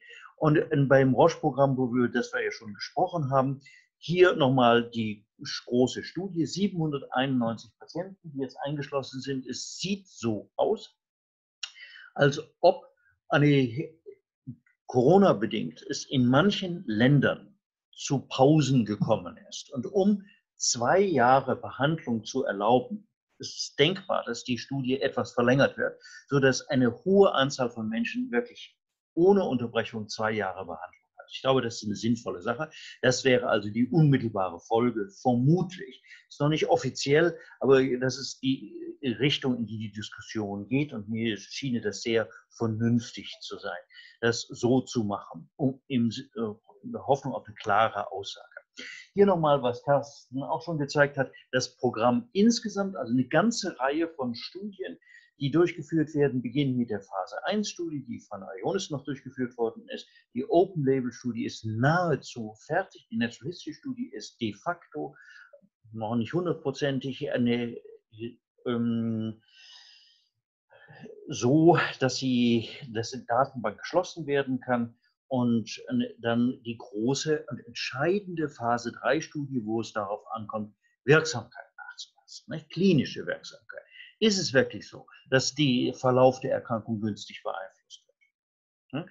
Was hier noch nicht steht, was aber in der Diskussion ist, ist, dass man überlegt, noch früher zu behandeln, deutlich früher zu behandeln. Das ist aber im Augenblick noch in der Diskussion. Und man kann sich, ich glaube, das ist unser gemeinsamer Eindruck von der Beobachtung der Patienten, schon des Eindrucks nicht erwehren, dass die Leute, die besonders früh behandelt werden im Verlauf ihrer Erkrankung, am ehesten zu profitieren scheinen. Das ist nur ein Eindruck. Das, sowas muss natürlich überprüft werden in entsprechenden Studien. Diese Studien sind ihrer Natur nach aufwendig und langwierig. Aber mein Eindruck ist, dass das sehr intensiv diskutiert wird und ich würde das sehr begrüßen, dass man genau das versucht dann auch zu machen. Jetzt hattest du ja schon auf die Open-Label-Studie ein, näher eingegangen. Ich will nur ein paar kleine Ergänzungen machen. Hier nochmal, wie das gemacht ist. Also der Unterschied ist, dass die einen jeden Monat, die anderen alle zwei Monate behandelt worden sind. Aber immer mit der gleichen Menge, 120 Milligramm insgesamt. Was jetzt sehr interessant ist, und das war vorher nicht klar, ist, eine, von der ersten Studie, man sieht es hier sehr deutlich, dass die Absenkung des Mutantenhuntingtins noch weitergeht. Nicht? Wir hatten nur Phase 1 ist hier in Rot dargestellt. Ich weiß nicht, ob ihr alles sehen könnt, bis zu diesem Punkt hier. Und man sieht, dass die Absenkung noch weitergeht. Man sieht jetzt auch sehr schön an dem blauen Balken, das ist der angestrebte Bereich. Zwischen 30 und 55 Prozent ist etwa das, was wir anstreben. Und man sieht sehr gut, dass mit beiden, einer häufigen und einer weniger häufigen Gabe, dieses Ziel erreicht wird und das bei besserer Verträglichkeit, so wie du es schon mal betont hast. Jetzt nochmal, was du schon dargestellt hattest, diese, dieses Signal, was uns Sorge gemacht hat. Das ist ein Marker im Nervenwasser, NFL heißt der, der eine üblicherweise genommen wird als ein Hinweis für eine Schädigung, dass der nach oben gegangen ist, aber dann, wie man auch hier sieht, bei längerer Beobachtung wieder nach unten geht, aber noch nicht unter das Ausgangsniveau, wie wir uns eigentlich und idealerweise erhofft haben. So ist im Augenblick die Datenlage. Ob das noch passiert, wenn man länger behandelt, ist eine offene Frage, wer weiß. Aber es geht, und das ist für uns jetzt ganz beruhigend, zumindest wieder auf das zurück, was es vorher war. Also ein transienter Effekt, wenn man so will. Gut, auch wenn man, hier sieht man nochmal einen der Gründe, warum die zweimonatige Applikation bevorzugt wird. Man sieht hier Eiweiß im Nervenwasser, ist, das ist häufiger hoch, wenn man monatlich behandelt. Das mag ein Hinweis darauf sein, dass es zu einer Ausflussstörung kommt, mag auch noch andere Gründe haben, aber wie man sieht, ist hier gar nichts zu sehen, wenn man alle äh, jeden zweiten Monat behandelt und deswegen ist, scheint das Verhältnis zwischen Sicherheit und Wirksamkeit günstiger zu sein. Wobei, Wirksamkeit wissen wir erst in zwei Jahren. Na? Gut. Wait. Soll ich mal weitermachen? Gut, also, jetzt, nee, jetzt machen wir eine Pause. Wie Bio Break, fünf Minuten. Fünf Minuten. Ja? Und für alle, für alle, auch für die zu, zu Hause, Toilette, Wasser, Kaffee. ich glaube, Michaela sagt, wir sollen mal weitermachen. Ich würde mal wieder anfangen. Ähm, und ich glaube, ich habe in der, in der Diskussion jetzt hier zwei Fragen, ähm, die ich gerne noch besprechen würde. Ähm, hier ist eine Frage im Chat reingekommen, dass jemand sagt, er trägt das Huntington-Gen, die Veränderung, hat keine Beschwerden, ob er sich trotzdem an ein Huntington-Zentrum wenden soll. Hm, da würde ich sagen, ja, das wäre sehr, sehr gut. Ich glaube, wir würden uns freuen, wenn er oder sie das machen würde. Ähm, der Grund ist, hm, im Moment die Pharmastudien, die im Moment laufen mit diesen pharmazeutischen Medikamenten können oder sollen, werden im Moment an Patienten untersucht, die leichte Beschwerden der Erkrankung haben. bei diesen Studien gibt es bestimmte Ein- und Ausschlussbedingungen. Nicht jeder, der gerne an einer Studie mitmachen kann, möchte, kann das auch. Der Grund ist der, dass man, dass man ähnlich schwer oder wenig schwer, oh, das ist eine gute Idee, nicht ganz so viel Tuch, hm, ähnlich schwer oder wenig schwer ähm, erkrankte Patienten, ähnliche Patienten in der Studie haben, die werden dann zufällig zugelost, ob sie das richtige Medikament oder Placebo kriegen. Und wenn ich die zu unterschiedlich hätte, hätte ich vorher hätte ich hätte unterschiedliche Gruppen, die ich vergleiche und könnte die Studie nicht mehr letztlich auswerten. Deshalb können an einer Pharmastudie nur Leute, die bestimmte Kriterien erfüllen, mitmachen. Die Kriterien im Moment sind, dass man leichte Beschwerden der Erkrankung hat, weil wir ja erstmal feststellen müssen, ob das, was wir an den ganzen Mäusen erforscht haben, tatsächlich stimmt, ob es tatsächlich hilft. Und das können wir nur bei Leuten, die tatsächlich Beschwerden haben. Aber wenn das gelingen sollte tatsächlich und wenn es irgendeins dieser Medikamente, über die wir da gesprochen haben, irgendwann mal in der Zukunft geben sollte oder vielleicht auch mehrere, dann ist natürlich der nächste Schritt, wie Bernhard das eben schon gesagt hat, ähm, dass wir dann möglichst früh behandeln wollen. Und dann am liebsten schon prämanifest, in der prämanifesten Phase. Und dazu müssen wir aber wissen, was verändert sich da.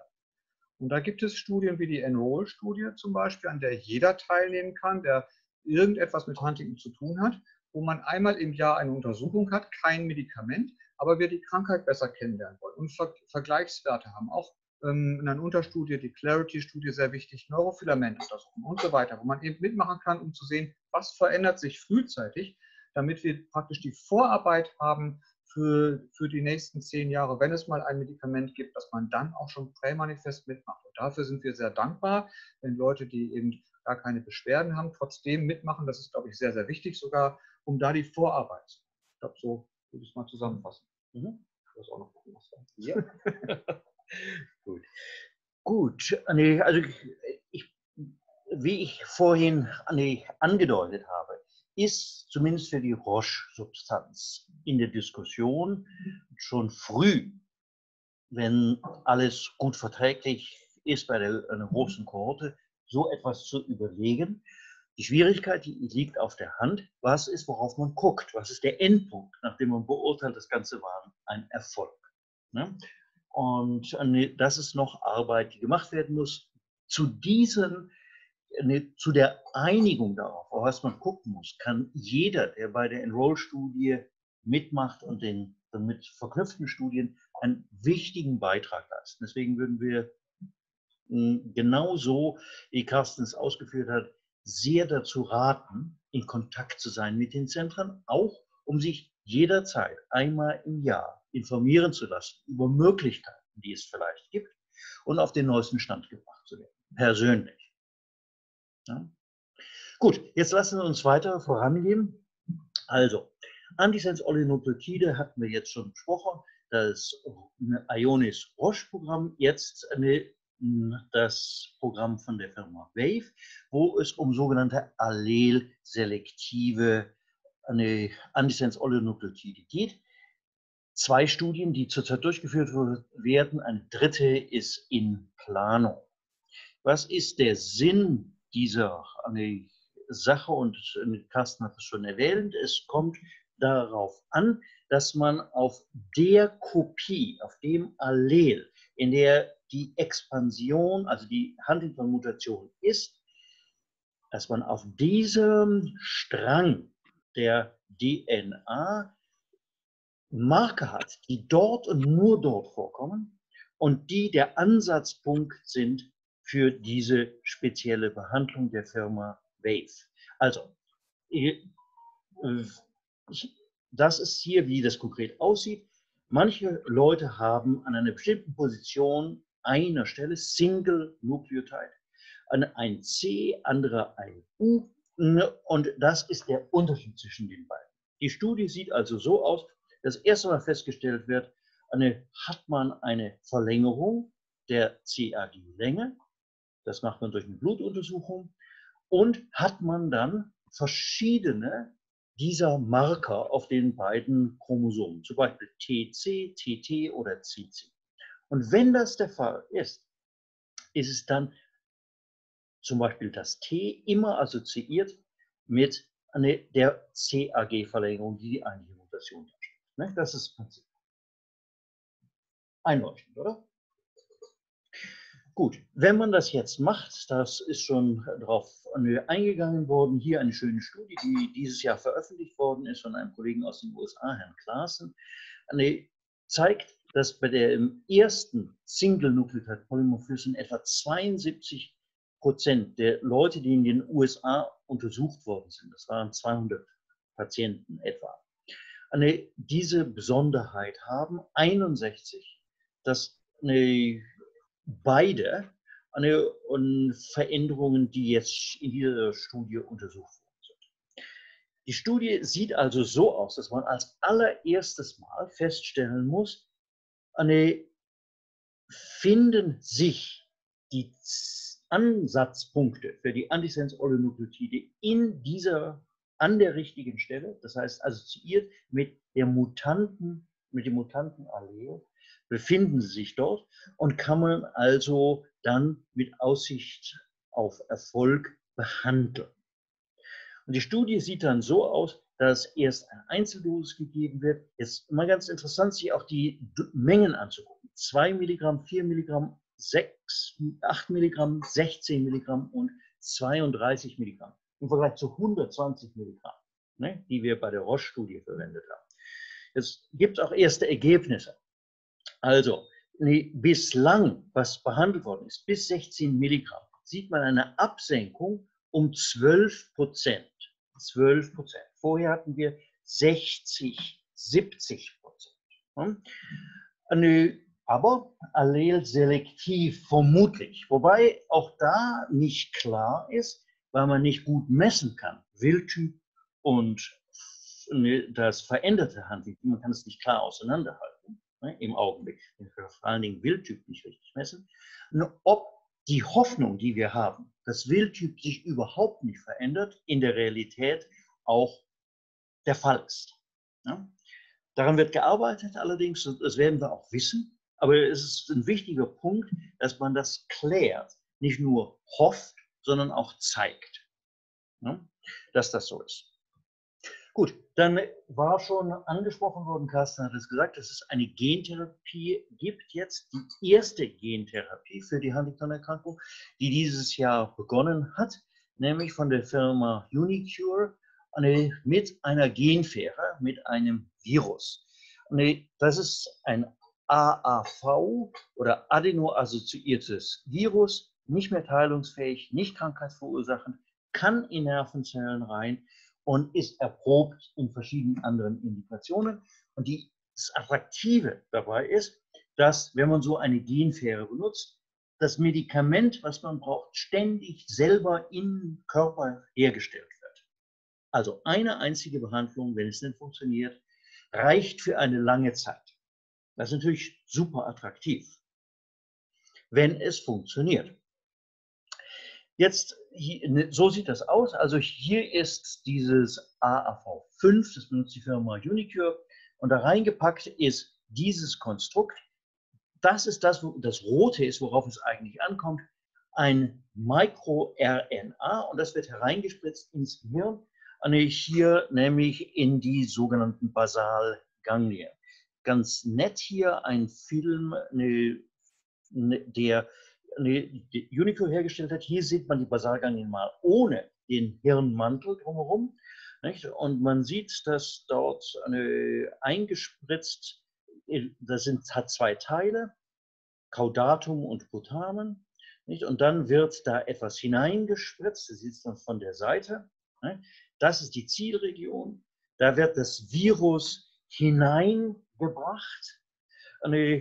Ist hier schematisch dargestellt als diese dunklen Ablagerungen an drei Stellen, so ist die Theorie, die dann dazu führen sollen, dass sich das Ganze ausbreitet in den Basalganglien hier dargestellt. Das wird jetzt alles dunkel.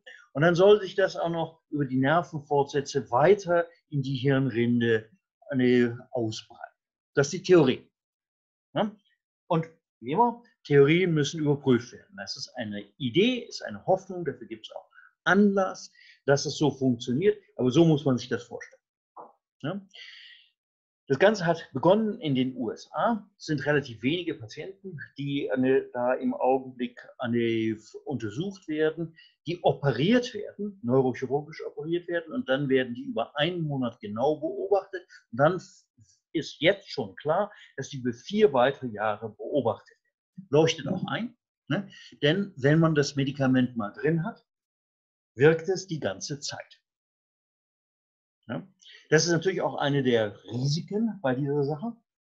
Wir haben davon gesprochen. Nee, man muss darauf achten, dass man die richtige Balance hält. Nicht zu viel von dem normalen Huntington senken. Diese spezielle Behandlung reduziert auch das sogenannte Exon 1. Da setzt es nämlich an. Würde also, wenn mehr Exon 1 hergestellt wird im Laufe der Erkrankung, wie bei Kindern vermutlich von vornherein, auch da wirken. Das ist die erste Substanz, die Exon 1 tatsächlich erwischt und von daher ist es interessant. Also, erste Gentherapiestudie im Augenblick. Man kann sich das genauer angucken. Es gibt Diskussionen, das auch in Europa zu machen, aber da ist das letzte Wort noch nicht gesprochen dazu. Wäre aber mit einem anderen Protokoll, etwas anderem Protokoll. Gut, jetzt hatten wir vorhin darüber gesprochen, dass es wieder mit einer Genfähre auch die Möglichkeit gibt, nicht wie bei Unicure alle Formen, allerdings inklusive des Exon 1, sondern nur die veränderte Genkopie zu beeinflussen und das mit diesem Zinkfingerprotein. Zinkfinger ist wie ein Finger, das drei Basen, zum Beispiel A und G erkennt, wird zusammengehalten durch dieses Zinkatom hier in grün dargestellt oder bei Ihnen sieht es gelb aus in der Volkswagen. Bei mir auf dem Schirm sieht es grün aus. Das ist das Zinkatom, deswegen Zinkfinger.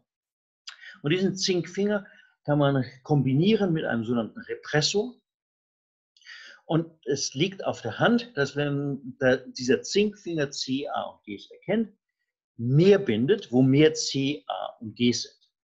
Das heißt, alle Erkrankungen, die diese Mutation haben, mehr C, A und G, nicht nur die Huntington-Erkrankungen, spinozelluläre Ataxien aller Art, autosomal dominant, ließen sich im Prinzip damit behandeln. Und das führt dann dazu, dass weniger hergestellt alles weniger hergestellt wird. Die Bauanleitung, also die Messenger-RNA wird weniger hergestellt und in Folge auch das veränderte Protein. Aber das würde auch funktionieren, wenn das Problem gar nicht ein Protein ist. Myotone Dystrophie zum Beispiel hat auch viel zu viele CA und Gs, aber in einem sogenannten Intron, einem Teil des Gens, das nicht abgelesen wird. Auch da sollte das theoretisch funktionieren. Ja? Bei der Huntington-Erkrankung hat man das bei Tieren untersucht und man kann zeigen, dass es sehr selektiv ist. Es ist wirklich nur da, wo zu viele CA und Gs sind und die biologischen Marker erholen sich, so wie man sich das wünscht. Und deswegen wird es weiter klinisch auch entwickelt von Takeda jetzt, die das Programm von Shire übernommen hat. Sangamo hat es ursprünglich mal entwickelt. Und wer es genau nachlesen möchte, sollte sich diesen Artikel angucken, der im letzten Jahr erschienen ist. Ein sehr spannender Artikel, der die Basis dafür ist, dass klinische Studien durchgeführt werden in der Zukunft. Aber das benutzt eine Genfähre. Beim Tier kann man Erfolge erreichen mit einem Gehirn dieser Größe hier, wie ich es ganz links zeige. Maus und Ratte. Und es ist offensichtlich, dass es eine offene Frage ist, wie gut diese Genfähren tatsächlich alle Zellen erreichen, die wir erreichen müssen. Jetzt nochmal eine Stufe weiter. Also Einspritzung ins Nervenwachstum. Ich stimme Carsten zu. Für uns ist Lumbalpunktion sowas wie Blutabnehmen. Nur anders. Ne? Für die Patienten hm, es findet hinter dem Rücken statt, buchstäblich, nicht? Kann auch wehtun, Blutabnahme kann nebenbei auch wehtun. Nee, ist es was anderes. Aber für uns ist das im Prinzip Blutabnahme. Das war ein bisschen provokativ. Ich bin auch jetzt ein bisschen provokativ. ich will das jetzt nicht völlig verharmlosen, aber attraktiv wäre natürlich, eine Pille zu nehmen, wie üblich. Ne? um einen ähnlichen Effekt zu haben. Nämlich die Neubildung von Huntington durch Abbau der Bauableitungen zu hemmen. Und das kann erreicht werden dadurch, dass man sich ausnutzt eine Tatsache, dass nämlich jede Zelle in unserem Körper eine Qualitätskontrolle hat für die Bauanleitung. Und wenn vorzeitig ein Stopp da ist, wo es nicht hingehört, dann geht die Zelle davon aus, das ist ein Irrtum, das muss abgebaut werden. Nennt sich eine Translation Linked mRNA Decay, also die Qualitätskontrolle der Zelle erkennt ein zu frühes Stoppsignal und baut die Bauanleitung ab. Und infolge davon hat man weniger Bauanleitungen und infolge davon weniger Produkte, Proteinprodukte, also das Mutante, eine Huntington-Protein. Zwei Firmen, Carsten hat es erwähnt, und es sind noch mehr in Wirklichkeit, haben, sich, haben schon Programme, die im nächsten Jahr in die Klinik kommen werden. Deswegen erwähne ich sie. Es gibt noch andere Firmen, die mehr präklinisch arbeiten. Das eine ist PTC Therapeutics. Die haben jetzt auch verraten, wo denn ne, dieses Psi-Exon, dieses ist, dass sie mit ihrer Substanz hier dem Körper vortäuschen, zwischen Exon 49 und Exon 50. Das eine Huntington-Gen hat 67 Exone, also weit weg vom ersten Exon, wo die eigentliche Mutation ist. Ja? Aber wie man hier sieht, das Ganze wird also abgebaut oder zerschreddert, sind weniger Bauanleitungen da und also wird weniger veränderte Huntington-Genprodukte hergestellt. Und das funktioniert sehr schön, wie man hier sehen kann. Und zwar im gesamten Gehirn in allen Anteilen gleich. Also anders als bei Antisens-Oligonucleotiden, wo wir uns unsicher sind, ob alle Anteile des Gehirns gleich gut erreicht werden. Nicht? Das kommt übers Blut und erreicht alles in ähnlicher Weise. Und das ist nicht nur eine Behauptung, sondern das kann man nachmessen. In dem Basalgang, dem Striatum, eine deutliche Absenkung im Kortex, die gleiche, im Kleinhirn die gleiche und besonders schön, um zur Therapiekontrolle, man kann das auch im Blut messen, also in den weißen Blutkörperchen und sieht dort, wie man hier sehr schön sieht, eine Absenkung um fünf, mehr als 50 Prozent. Die Firma Novartis hat eine ähnliche Substanz, die hat sie per Zufall entdeckt. Und das heißt, sie hat schon Daten beim Menschen. anders als BGC. Das ist am Reißbrett entstanden und Novartis hat schon Daten bei Menschen, kleinen Menschen, Kindern, bei denen die Substanz für die die eigentlich gedacht war. Deswegen können die relativ zügig jetzt in die klinische Prüfung gehen. Da sind sie auch dabei und das wird Anfang nächsten Jahres auch so sein. Das Prinzip ist genau das gleiche. Man kann hier die, bei Zellen von Menschen zeigen, dass die Bauanleitung oder die Messenger-RNA deutlich abnimmt. Man kann zeigen, dass das Eiweiß deutlich abnimmt. Und man kann zeigen, dass es in einem Mausmodell, was die gleiche genomische oder DNA-Struktur hat wie der Mensch, nennt sich BUG-HD-Modell, hm, weil da ein Stück menschliches Genom genommen worden ist, hm, ebenfalls nachweisen. Also, das wird spannend, wie sich das weiterentwickelt. So, jetzt kommen wir nochmal zu dem Thema, was ist die Huntington-Erkrankung eigentlich im Kern? Und was Carsten schon betont hat, die Anzahl der CRG-Wiederholungen im Körper nimmt zu im Laufe des Lebens in den verschiedenen Körperzellen. Ganz drastisch kann das sein. Hier dargestellt, das kennen Sie schon von mir, im Blut 51, im Striatum, also Caudatum und Putamen 700. Viel, viel, viel, viel größer. Ja?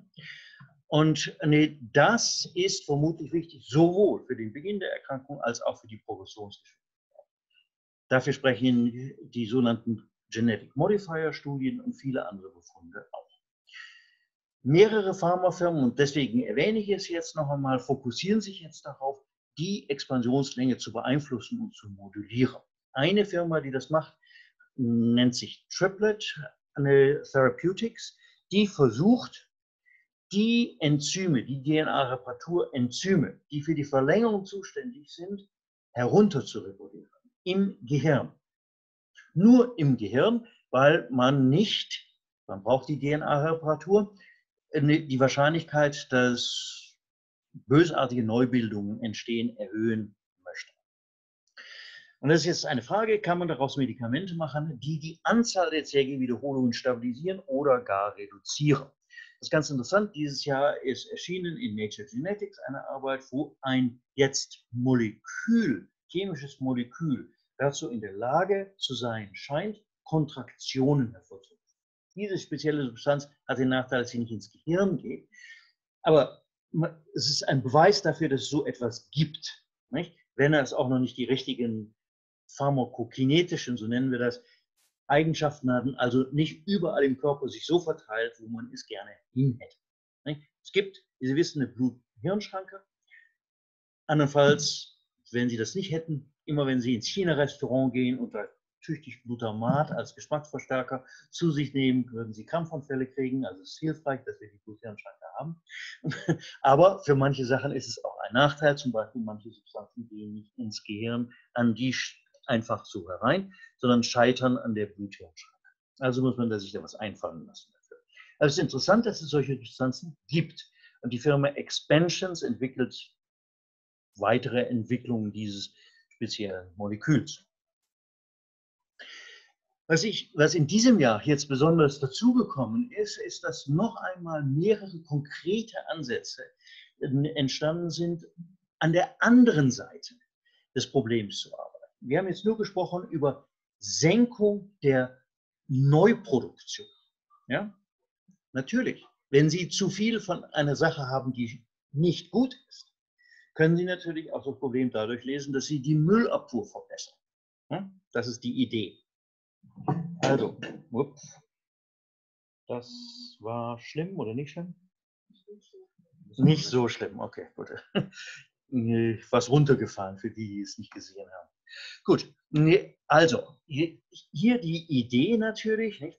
diese ganzen Ablagerungen von verändertem Huntington-Eiweiß sind vermutlich nicht gut für die Zelle und dann kann man das benutzen, die Ansammlung in verschiedenen Zellen auch als Nachweis dafür, dass eine Substanz wirkt. Jede Zelle hat im Prinzip zwei Müllabfuhrsysteme, wenn man so will das sogenannte Proteasom. Das ist ein Schredder. Hm, also Sie kennen das aus dem Büro. Wenn Sie nicht wollen, dass das Zeug gelesen wird, kommt das in den Schredder und einzelne Papierschnipsel entstehen. Das ist das, was das Proteasom macht. Und dann gibt es Autophagie. Das ist so mehr eine, ein ganzer Müllsack verschwindet in ihrer Müllschippe. Ja? als Ganzes. Autophagie. Gut, da gibt es jetzt für die Autophagie eine ganz interessante Entwicklung. Das gibt ein sogenanntes Adapter- oder Protag-Protein. Das ist hier mal vergrößert dargestellt. Das bindet zum einen an das Zielprotein, das ist jetzt hier in grün dargestellt, ja, mit diesem gelb dargestellten Anteil hier. Das andere bindet an eine, eine, ein blau dargestellt, dieses große Teil hier, an ein Enzym, was die Aufgabe hat, dafür zu sorgen, ein, eine, eine Beschriftung herzustellen, das geht in den Müll. Ja? Und dadurch, dass Sie jetzt hier durch dieses kleine Teil hier die Beschriftungsmaschinerie und das, was Sie abbauen wollen, zusammenbringen, gibt es plötzlich viele Signale für die Zelle, das gehört in den Müll oder noch genauer in den Schredder, in das Proteasom. Ne? Und da gibt es eine Firma, die sich sehr intensiv damit beschäftigt und die ein Programm hat für die Huntington-Erkrankung zusammen mit der Firma Vertex. Daneben gibt es die Möglichkeit, die Autophagie zu stimulieren. Und wieder kommt es darauf an, dass man es nicht allgemein macht, sondern dass man die Sachen, die in dem unserem Fall das veränderte Huntington-Protein vermehrt mit Markern versieht, die sagen, du gehörst abgebaut. Und das gibt es. Jedes Eiweiß hat oder wird in der Zelle weiter verändert. Zum Beispiel durch den Anbau von Phosphorgruppen oder Phosphorylierung nennt sich das. Und was neu ist und dieses Jahr im Sommer veröffentlicht worden ist, ist, dass einer dieser Beschriftungsmaschinerien, den komplizierten Namen TWK1, was dafür sorgt, dass mehr Phosphorgruppen, die der Zelle sagen, bau mich ab, am veränderten Huntington-Protein sind, dass das erkannt worden ist und das kann man jetzt also pharmakologisch beeinflussen, ist die Hoffnung. Und das ist ganz interessant. Ganz am Anfang, im ersten Exon des Huntington-Gens, da gibt es Ansatzpunkte für Phosphor. Phosphor bindet an bestimmte andere Aminosäuren, Serin 13, 16. Die sind entscheidend dafür, dass abgebaut wird und also auch weniger Aggregate hergestellt werden. Das ist eine spannende neue Entwicklung. Und TBK 1 ist nebenbei der genetische Grund für eine bestimmte Form von ALS oder äh, Erkrankung, die viele kennen, also eine sehr schwerwiegende, sehr schnell verlaufende Erkrankung, die zum Verlust der Nervenzellen führt, die zu den Muskeln direkt ziehen. Und das ist die Gruppe aus Lausanne, die das jetzt im Einzelnen aufgeklärt hat und eben auch dieses Enzym identifiziert hat, was jetzt ein konkreter Ansatzpunkt ist für Medikamente. Ja? Also, was jetzt tun bis zu dem Tag, bis all diese Ansätze, ja, sei es Nachbildung hemmen, sei es Müllabfuhr verbessern, eine wirklich Realität sind und wir sie, Carsten und ich und alle anderen Ärzte, verschreiben. Eine, gut, Lebensführung und eigene Aktivität ist da aus unserer Sicht, ich glaube, Carsten, das müssen wir nochmal sollten wir nochmal diskutieren. Unser Eindruck ist, und Corona hat das nochmal unterstrichen, diesen Eindruck, ganz wichtig.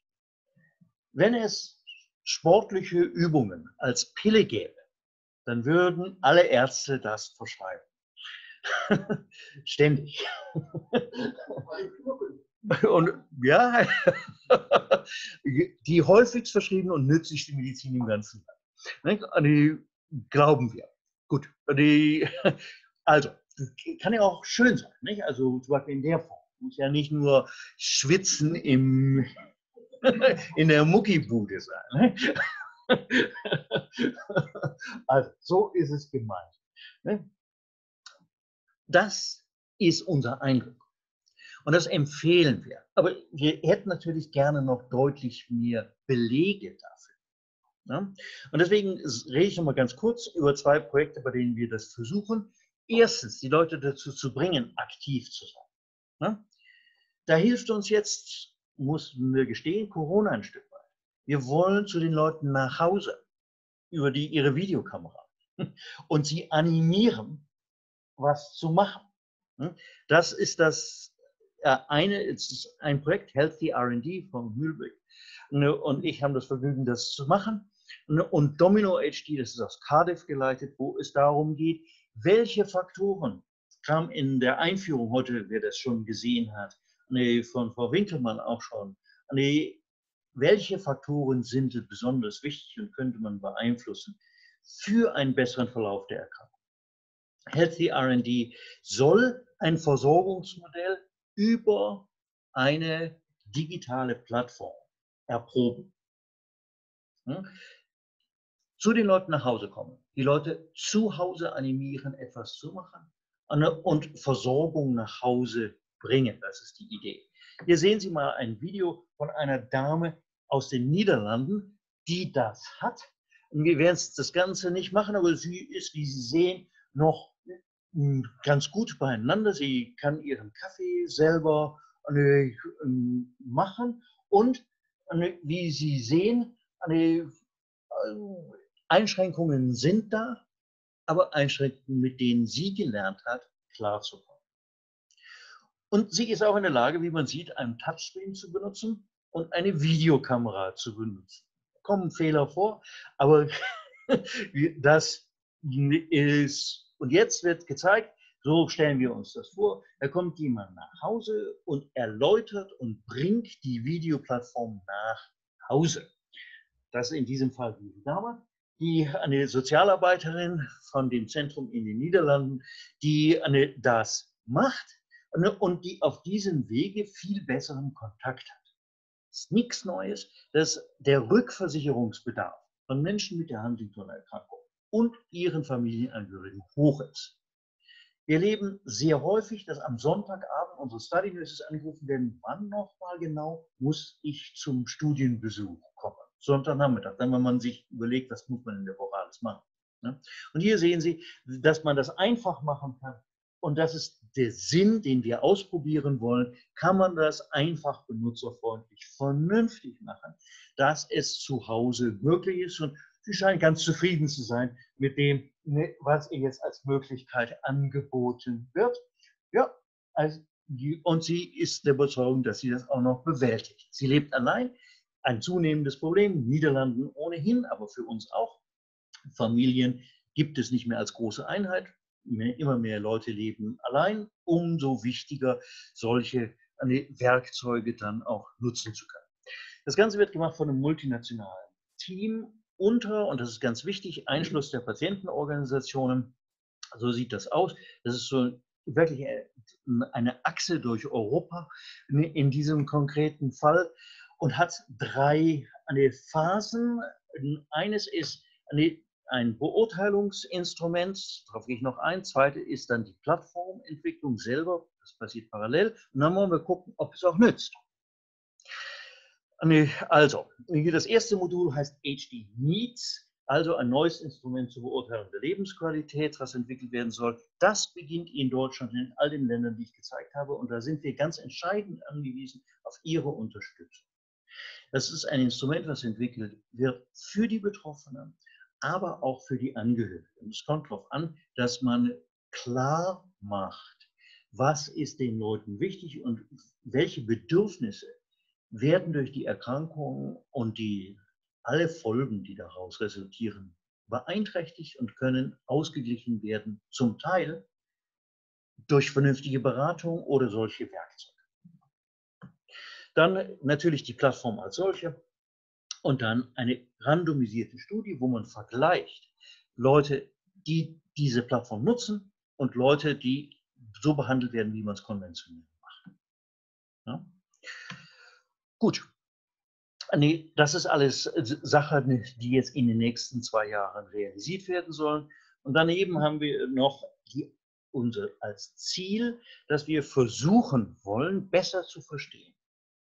Körperliche Aktivität, Ernährung und Schlaf als mögliche Faktoren, die den Verlauf der Erkrankung beeinflussen. Dazu brauchen wir Beobachtungsdaten. Das ist das Domino HD Projekt, was geleitet wird von Monika Buss aus Cardiff University. Sie ist Krankengymnastin eigentlich, hat sich aber hochgearbeitet zum Professor und leitet jetzt ein klinisches Studienzentrum. Also auch nicht selbstverständlich. Äh, und sie ist sehr praktisch, weil sie aus einem praktischen Beruf kommt. Und da kommt es darauf an, dass wir eben uns angucken, Bewegung und Erheben, Bewegungsdaten, Schlafdaten, Ernährungsgewohnheiten. Ernährungsgewohnheiten ist nicht trivial. Das ist der Teil, für den wir in Deutschland besonders zuständig sind. Und auch da sind wir entscheidend auf Ihre Mithilfe angewiesen. Wie üblich Arbeitspakete und komplizierte Karten.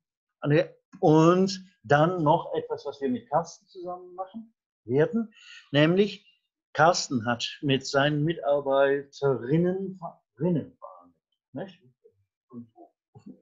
Also beide, beide Geschlechter. also, ne, sich angeguckt, ne, dass die Stimme, die Artikulation etwas ist, was sich früh verändert im Rahmen der Huntington-Erkrankung. Aber nicht bei jedem in gleicher Form. Das wollen wir besser verstehen als ein mögliches Maß für die Progressionsgeschwindigkeit der Erkrankung und als ein früh sich verändernder Parameter, den man also auch in ganz frühen Stadien, sogenannten Prodromalstadien der Erkrankung, vielleicht einsetzen kann.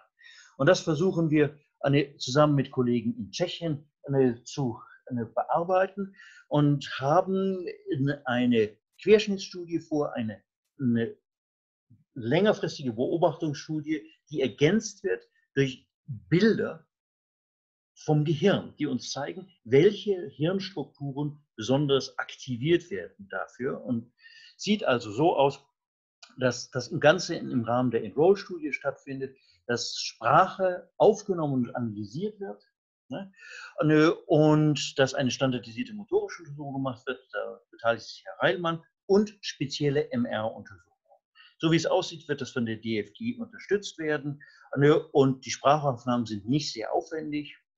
Das verlängert deine Enroll-Visite um 15, höchstens 20 Minuten, das zu machen. Hier sind sie nochmal aufgeführt. Gut. Jetzt noch will ich einen letzten Punkt. Die wahre Zahl der Huntington-Betroffenen.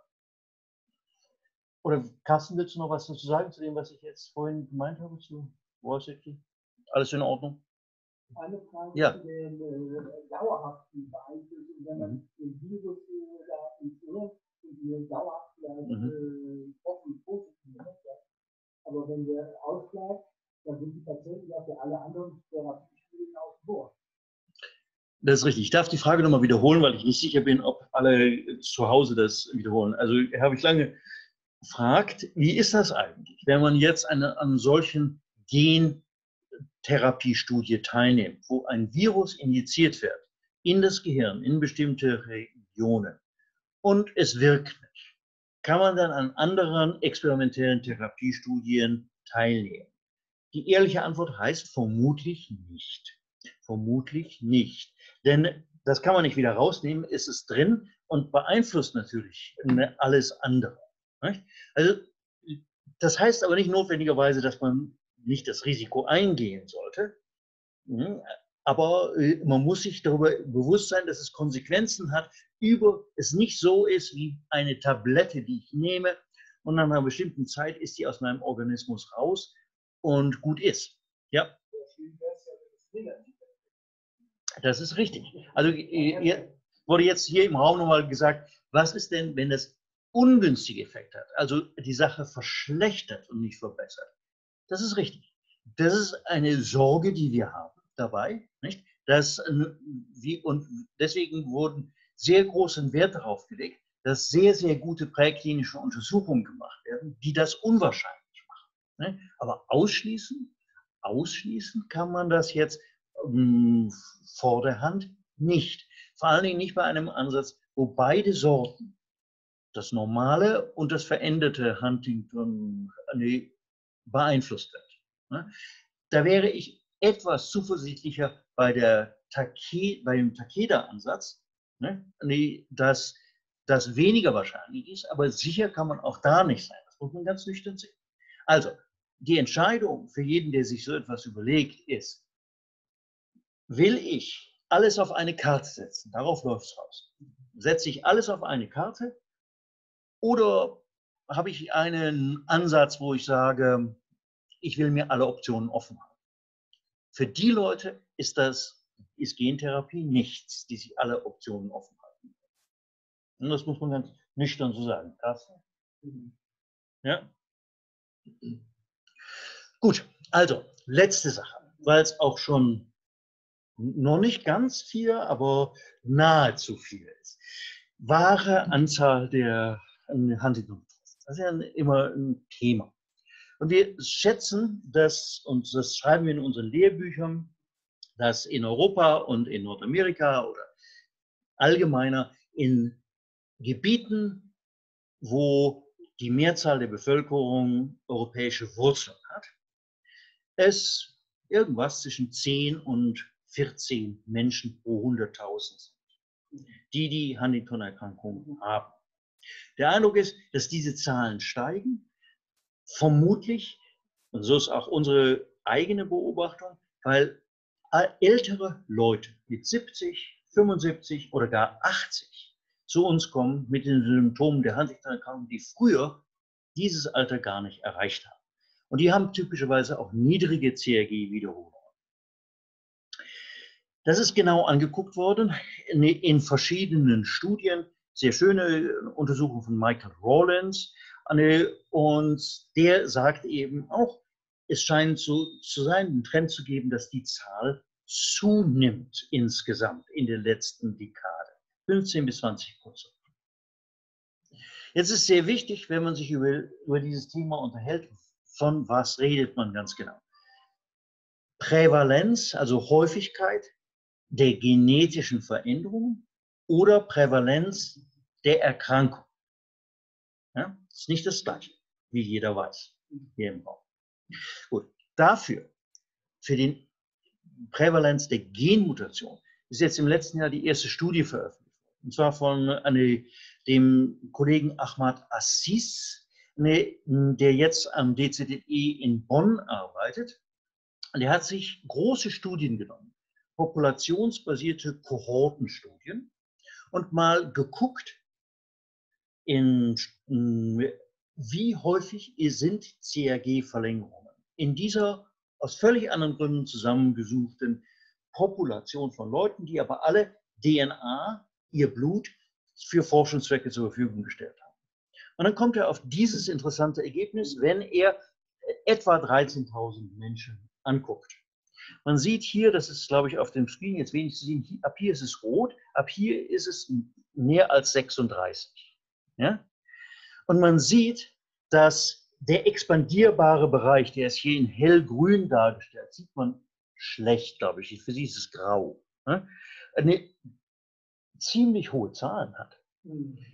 Expandierbarer Bereich bedeutet, in der nachfolgenden Generation, obwohl die Leute, die diese CRG-Längen haben, nie nach menschlichem Ermessen die Huntington-Erkrankung persönlich entwickeln, für die nachfolgende Generation besteht ein erhöhtes Risiko, in den pathologischen Bereich hineinzuwandern. Und die, jetzt in Rot dargestellt, haben 36 bis 40 CRG-Repeats. Das heißt, reduzierte Penetranz, nicht jeder, der diese Längen hat, wird auch krank, aber ein guter Anteil wird.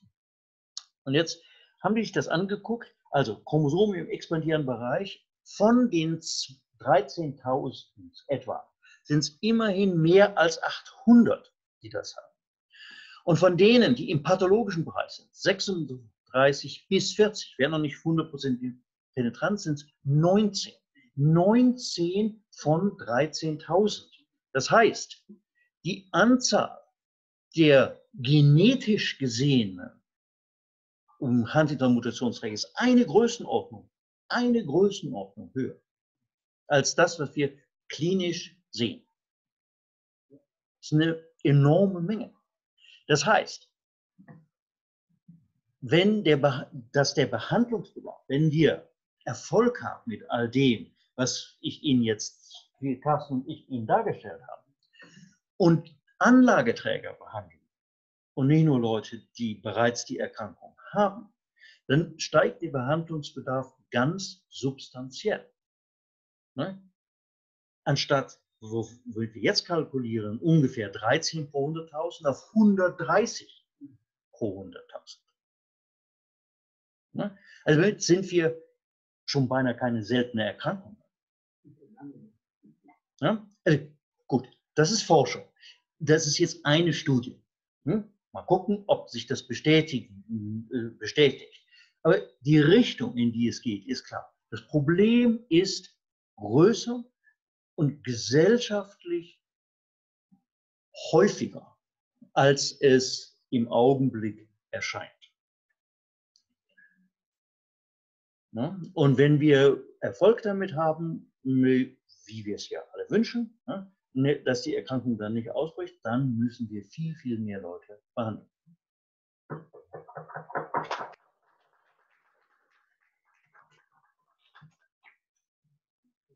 Sarah Therese noch die, die Arbeiten ähm, zum Young Adults Study.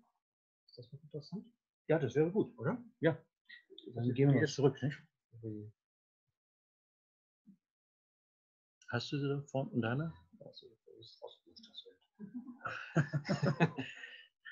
Wir haben unsere Sachen kombiniert. Ja, da ist doch was. Also. Das brauchen wir, glaube ich, nicht. Das, das brauchen wir auch nicht. Das brauchen wir nicht. Da. Bisschen doch, ne? Genau. Ups. Ups. Das auch falsch.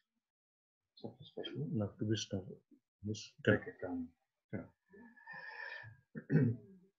Ja, ähm, ein kurzer Schritt zurück nochmal, auch zu der Frage, ähm, eben äh, kann ich, macht es Sinn, eben schon mitzumachen in einer Beobachtungsstudie, auch wenn ich noch gar keine Beschwerden habe. Ähm, dazu, das ist dieses Portal wesentlich, was wir wesentlich Bernhard, Bernhard Landwehrmeier zu verdanken haben, äh, der das zunächst in Europa mit der Registry-Studie und dann weltweit mit der Enroll-Studie ähm, vorangetrieben hat und ja, wesentlich initiiert hat äh, nach der Relozol-Studie, eine Beobachtungsstudie, bei der mh, eingetragen wird in einer anonymen Art und Weise. Also man macht mit als eine Nummer hier, das sind diese Nummern an der Seite. Diese Nummer wird anhand von Namen und anderen Daten generiert, aber das wird nicht gespeichert. Ähm, was für eine genetische Veränderung man hat, wie die Motorik ist, ähm, Konzentrationswerte, bestimmte kurze neuropsychologische Tests, auch ähm, Fragen zur Stimmung. Ähm, also einfach versucht wird, grob in einer Skala den Verlauf festzuhalten. Und ähm, da kann eben jeder mitmachen, der überhaupt irgendwas mit Hunting zu tun hat. Ähm, auch Partner zum Beispiel als Vergleich, auch Leute, die noch gar keinen Test gemacht haben stellt sich natürlich schon der Untersuchung, das muss man sagen, aber man hilft auch die Forschung voranzubringen. Ähm, und zum Beispiel eine Unterstudie dieser Enroll-Studie ist die Clarity-Studie, die ich auch für ganz wichtig erachte, wo dieses Neurofilament, wo wir eben schon mal darüber gesprochen haben, dieser Wert, der eine Schädigung von Nerven anzeigt, mit, unter anderem mit untersucht wird. Und dort hat man aus früheren Studien schon gesehen, dass dieses Neurofilament, hm, wenn das hier bei gesunden Kontrollen ist, dann bei Leuten, die Mutationsträger sind, aber keine motorischen Beschwerden der Erkrankung haben, schon erhöht ist, auch schon jüngeren äh, Mutationsträgern. Und dann eben, je älter man wird, je näher man Erkrankungsbeginn ist, auch mehr. Und wenn man erkrankt ist, das sind Patienten, die leicht erkrankt sind, dann nochmal deutlich, da scheint hier so ein Plateau zu bekommen. Das heißt, dieses Neurofilament ist eben auch bei der Huntington-Erkrankung, nicht nur bei Huntington, sondern bei anderen auch wahrscheinlich ein guter Marker, um einen Krankheitsverlauf zu untersuchen, obwohl ich keine Beschwerden habe. Das ist ja das, was ich brauche, wenn ich mit einem Medikament behandle hinterher, messen will, ob es denn hilft und dann zu sehen, ob sich solche Werte dann normalisieren, hoffentlich, was dann ein Hinweis wäre für eine Behandlung und damit hoffentlich auch den Krankheitsausbruch zu verzögern. Und da gibt es eine sehr wichtige Studie, die ich noch gerne vorstelle die ich sehr, wichtig finde, von der Sergio Bisi, von der Londoner Gruppe, die Leute untersucht hat, die wahrscheinlich 24 Jahre vor Erkrankungsbeginn sind. Man kann ja die genetische Veränderung, wenn ich mich habe untersuchen lassen und mein Alter andersrum rechnen, wenn ich weiß, die meisten Leute mit dem und der Repeatzahl erkranken meistens in dem und dem Alter. Das ist Statistik, das ist wichtig zu sagen. Das ist für den Einzelnen natürlich immer anders. Ich kann jemandem nicht vorhersagen, anhand der Repeatzahl dann und dann wirst du erkranken. Da gibt es große Varianten, aber statistisch kann ich das eben nutzen und kann sagen, okay, wenn ich jetzt 100 Leute habe, die eine bestimmte Repeatzahl habe, aber so, so jung sind, dann sind die wahrscheinlich 24 Jahre vom Erkrankungsbeginn entfernt zum Beispiel. Und hier hat man mit, ähm, ja, ich habe die Zahl der Teilnehmer jetzt gar nicht mehr, es waren nicht ganz 100, es waren weniger ähm, Teilnehmer in London, eben sehr ausführlich untersucht. Viele neuropsychologische Untersuchungen, das sind hier unten, die alle in einem Kreis drumherum äh, untersucht und äh, hat dann Normwerte und die waren alle, haben keine Auffälligkeiten gehabt, also keine Schwierigkeiten der Konzentration, in der Aufmerksamkeit. Diese neuropsychologischen Tests waren absolut in Ordnung. Ähm, sie haben auch in der Bildgebung keine wesentlichen Veränderungen haben. Sie haben ein bisschen im Putamen in dieser Region auf der Huntington Veränderungen gehabt, aber diese Veränderungen hm, haben nichts mit der Dauer des Erkrankungs, voraussichtlichen Erkrankungsbeginns zu tun gehabt, sodass man überlegt, ob das schon vorher so war. Komme ich gleich nochmal drauf. Aber nichts Eindeutiges, sage ich mal, in der Bildgebung. Aber im Nervenwasser, das ist das CSF, das Cerebrospinal Fluid, das ist das Nervenwasser, der Neurofilamentwert war deutlich verändert auch im Plasma, im Blut. Und es gab noch einen anderen Wert, das ist der YKL40, einen Wert, der was mit Entzündung zu tun hat. Auch der war verändert 24 Jahre vor Erkrankungsbeginn. Das ist wahrscheinlich so im Moment der erste Marker, den wir kennen, dass wir wissen, dass da tatsächlich sich etwas verändert. Ähm, bisher hat sich aus der Track- und Predict-Studie, das sind die großen Beobachtungsstudien für die Bildgebung, etwa 15 Jahre vorher Veränderungen in, der, in dem Caudatum, in dem Kernspin, ähm, neuropsychologisch, ähm, neuropsychiatrisch Auffälligkeit etwa zwölf Jahre also Reizbarkeit, Depression, gehäufter Auftritt und in der Kognition etwa 15. Bei uns der Best, Christian Beste eine Arbeit, wo wir auch 16 Jahre haben, die sehr, sehr anstrengend war für die Teilnehmer, wo es wahrscheinlich etwa in dem Bereich erste Veränderungen gibt. Das heißt, wir wissen, dass 15 12, 15 Jahre vor Erkrankungsbeginn sich erste Sachen verändern, sogar der Nerven, diese NFL-Wert 24 Jahre vorher. Und wahrscheinlich wird das so der Bereich sein, in dem man irgendwann, wenn man ein Medikament hat, tatsächlich behandeln würde gerne, was natürlich aber auch abhängig davon ist, wie die Nebenwirkungen da sind. Und die Wirkung, das wird sicherlich eben dann die entscheidende Frage sein, die Balance hinter. Wenn ich natürlich irgendwie das Risiko habe, mehr Nebenwirkungen zu verursachen, dann würde ich wahrscheinlich eher später anfangen. Das wird sicherlich hinter eine schwierige Frage. Aber wenn es ein extrem gut verträgliches Medikament geben sollte, dann wäre das wahrscheinlich irgendwann der Bereich, wo man anfangen würde zu behandeln. Das, genau diese Daten, ist es eben sinnvoll, wenn auch Leute mitmachen, ähm, die gar keine Beschwerden haben, genau das zu machen. Das soll mein letzter Punkt sein. Ein ähm, bisschen mehr hm, ja, gar nicht unbedingt mit der Erkrankung zu tun hat, sondern dass man inzwischen festgestellt hat, dass es wahrscheinlich, dadurch, dass Huntington auch für die Gehirnentwicklung wichtig ist, auch Veränderungen in der Entwicklung des Gehirns gibt. Und dass das wahrscheinlich der Grund ist, dass eben in dieser Trabesi in Londoner Arbeit auch schon leichte Veränderungen im Caudatum, Putamen in den Regionen war, es weniger war, aber mehr ähm, Verbindungen teilweise gibt. Da gibt es die Technopoulos, eine Kollegin aus Iowa, die da sehr forscht und Kinder untersucht im Kernspin, die eben diese Veränderungen auch zeigen. Und man jetzt aus der Pariser Arbeitsgruppe gesehen hat, dass sich in diesem Bereich bei Föten, bei, ähm, die, bei Abtreibungen praktisch ähm, untersucht worden sind, ähm, tatsächlich auch Zell Wanderungen verändert haben durch das Huntington-Protein und dadurch die Entwicklung des Gehirns etwas anders ist. Und das ist vielleicht das, was wir dann im Kernspin auch messen. Ob das nur negativ ist, hm, das hat im Moment keine eindeutigen Auswirkungen, soweit wir wissen. Wir sehen ja, dass die Neuropsychologie unverändert ist. Ähm, oder ob das vielleicht sogar positive Effekte haben könnte. Darüber philosophieren wir noch. Okay, und ich glaube, das sollen meine letzten Punkte gewesen sein von mir aus. Vielen Dank.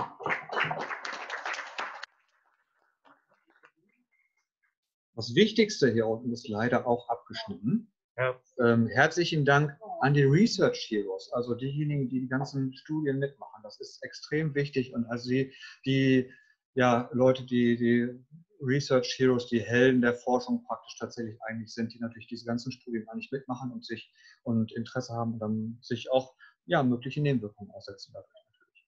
Danke. Zeit noch zu kommentieren? Ja, bitte. Werner, ganz wichtig, dass äh, du darauf hingewiesen hast, dass das Leben so viel mal häufiger in der Bevölkerung ist, als wir die Kranken sehen. Also mindestens 10, es gibt eine andere Studie, wo es da 20-fache angegeben ist, also die Zahlen werden mindestens 10 mal so hoch. Wir haben also eine Menge Mutationsträger, die gar nicht handeln können. Und Carsten seine Bemerkung ist jetzt ganz wichtig, wie er gesagt hat, die Daten, dass wir 15 Jahre oder 10 Jahre vorher Hirnveränderungen haben. Die haben neuropsychologische Störungen. Und wir nennen die gesund. Die haben Probleme am Arbeitsplatz. Die brauchen eine Diagnose. Das muss anders genannt werden als Manifest. Die haben Probleme, die haben Hirnveränderungen, die müssen richtig diagnostizieren. Die haben uns keine Hilfe. Ganz wichtiger Punkt. Ähm, der Herr Wichlange spricht gerade an, dass es eben diese frühen Veränderungen gibt. Ähm, ist ein ganz äh, wichtiger Punkt und ist natürlich absolut richtig, dass wir diese frühen Veränderungen haben. Das Problem ist natürlich, dass wir bei den, das sind ja alles Gruppenuntersuchungen. Und daraus wissen wir, dass es eben diese frühen Veränderungen gibt, wo es ja auch schon mehrere Paper und Diskussionen dazu gibt, wie nennen wir das denn? Nennen wir das Prodromalphase oder nennen wir das psychiatrische Huntington-Erkrankung oder Striatal? Da gibt es verschiedene ähm, Möglichkeiten. Prodromalphase ist, glaube ich, etwas, was man im Moment diskutiert. Ähm, ist absolut richtig.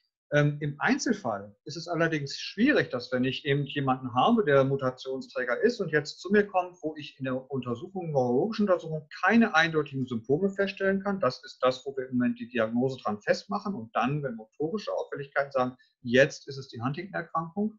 Wenn jemand eben eine Depression hat und dann kommt und mich dann fragt, ist das jetzt das erste Zeichen der Huntington-Erkrankung, dann muss ich leider sagen, ich kann das nicht genau sagen weil eben auch äh, so eine Depression entstehen kann und auch sogar in Familien bei Nicht-Genträgern erhöht ist.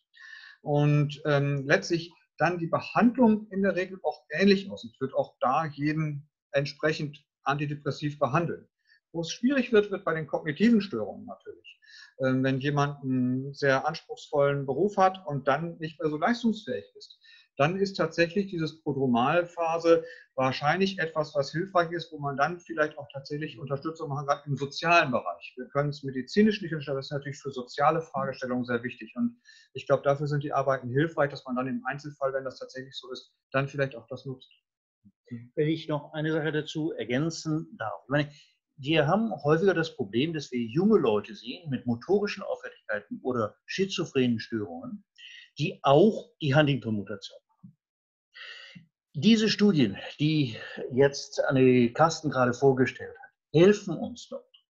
Wenn das Striatum völlig normal ist, jemand hat aber eine Tickstörung oder sonstige motorische Auffälligkeiten, dann ist es hochwahrscheinlich, dass dieser Mensch Läuse und Flöhe hat, wenn ich mich so ausdrücken darf. Ne? Er hat die Huntington-Mutation und zudem das Pech, eine weitere, auch behandlungsbedürftige Störung zu haben. Aber das eine ist nicht Folge des anderen. Genauso bei schizophrenen Störungen. Wer im typischen Lebensalter für schizophrene Störungen, was weiß ich, an die Ende, an die, äh, mit 18, 19, Anfang 20, ohne dass es zu einer eindeutigen Progression kommt, solche Störungen entwickelt und hat ein normales Striatum in der Bildgebung, nicht wahrscheinlich, dass dieser Teil der Symptomatik zurückzuführen ist direkt auf die Huntington-Erkrankung. Auch das ist natürlich eine Sache, über die man diskutieren kann. Wer weiß, ob die Verschränkungen der verschiedenen Sachen nicht noch komplexer sind. Aber für alle praktischen Zwecke, glaube ich, und das ist sehr, sehr wichtig, ist es eben nicht so, dass man denken muss, ich mit 42 CRG-Repeats und 21 Jahren Schizophren in der Psychiatrie bin Huntington krank, sondern ich habe vermutlich zwei Probleme. Es hat aber schon Einfluss darauf, wie man sich sieht und wie die Umgebung einen sieht. Finde ich nur, weiß ich, Carsten, wie, wie du das siehst, aber ich finde das eine wichtige Sache, dass man versucht, diese Sachen auseinanderzuhalten. Ich kenne eine Reihe von Leuten, die, nachdem sie prädiktiv sich haben testen lassen, dann aufgehört haben, irgendetwas zu machen und sehr depressiv geworden sind, weil sie sich als krank gesehen haben. Nicht? Und, und äh, manchen Leuten kann man helfen, indem man ihnen ein Bild von ihrem Gehirn zeigt und sagt, nein, noch ist das nicht so. Ich habe noch eine Frage. Kommt man dich, Marcel?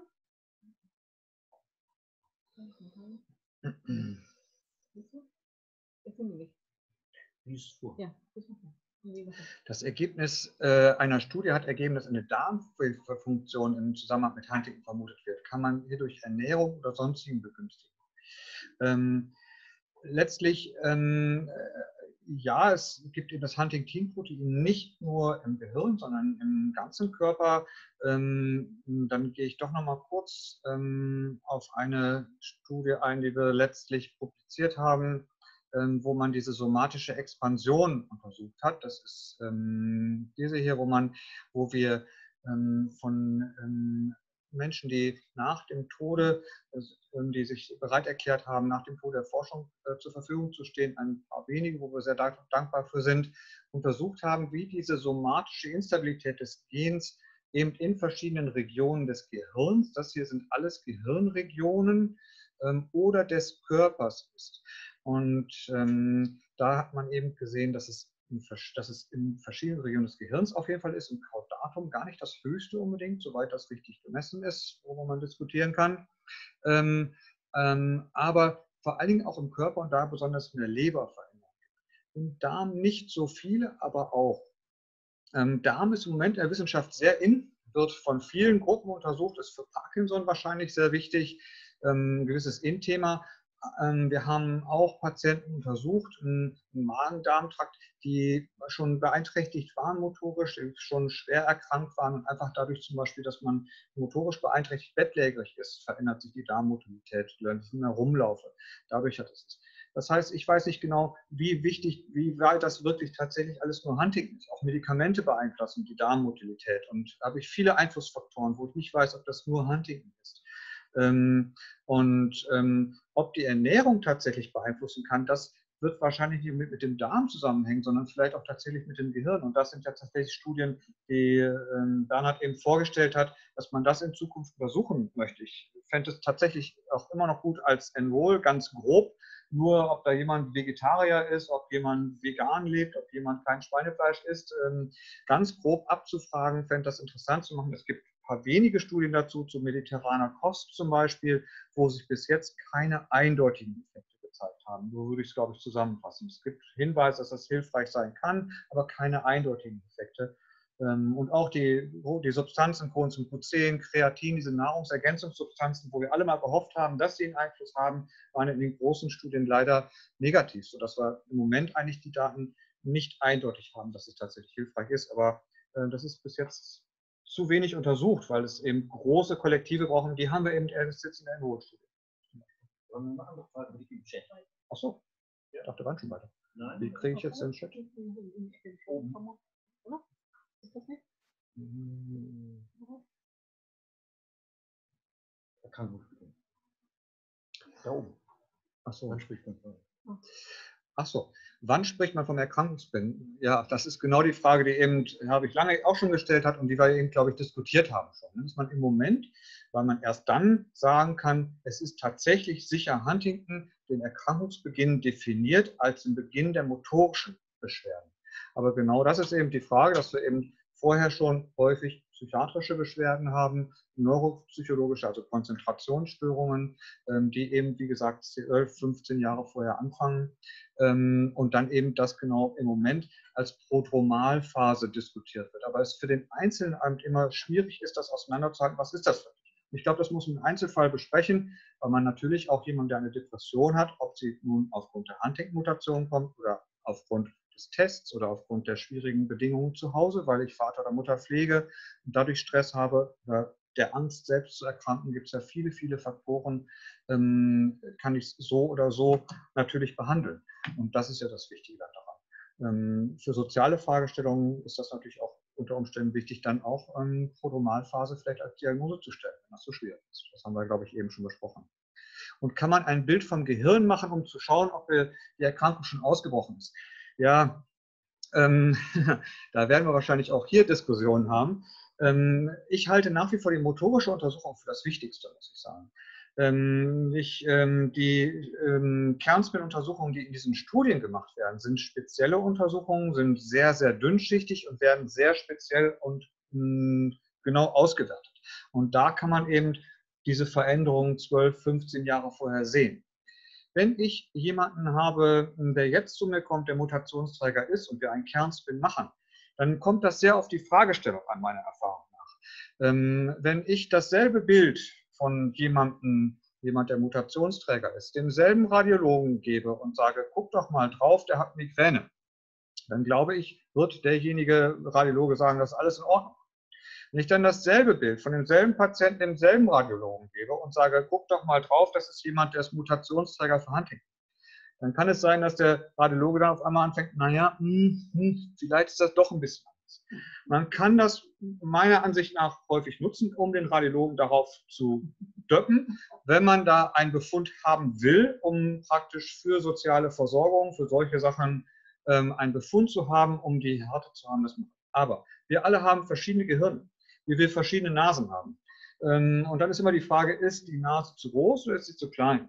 Ich selbst habe einen ostwestfälischen Querschädel und mein äh, Hirn sieht teilweise wie ein Hunting-Patient aus. Ähm, insofern ist das, glaube ich, immer nur, immer nur bedingt auszuwerten. Und ähm, ähm, vielleicht longitudinal, wenn man vorher schon mal Befunde hat, dass man sie vergleichen kann, dann ist das hilfreich.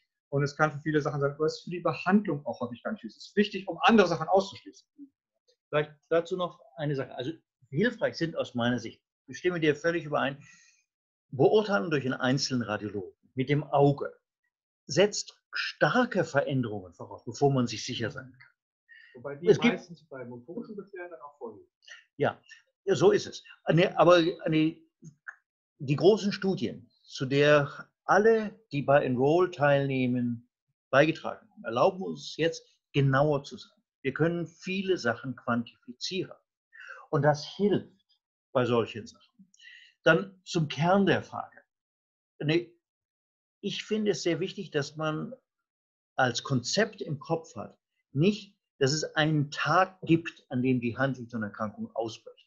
Das ist ein Prozess. Und ganz bei Lichte betrachtet sind die Würfel schon gefallen im Moment der Zeugung. Man hat die Mutation oder man hat sie nicht.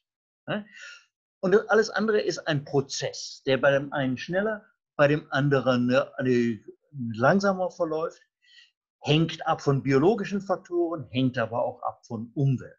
Und ich glaube, es ist kein hilfreicher Gedanke, sich zu fürchten vor dem Tag, an dem die Huntington-Erkrankung ausbricht.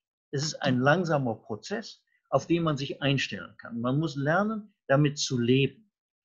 Das sagt sich leicht. Aber ich glaube, im Kern ist es genau das, worum es geht.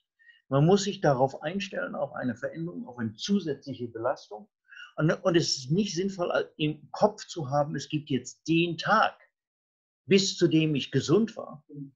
Und dann den nächsten neuen, düsteren Tag, ab dem ich jetzt krank bin ein Prozess.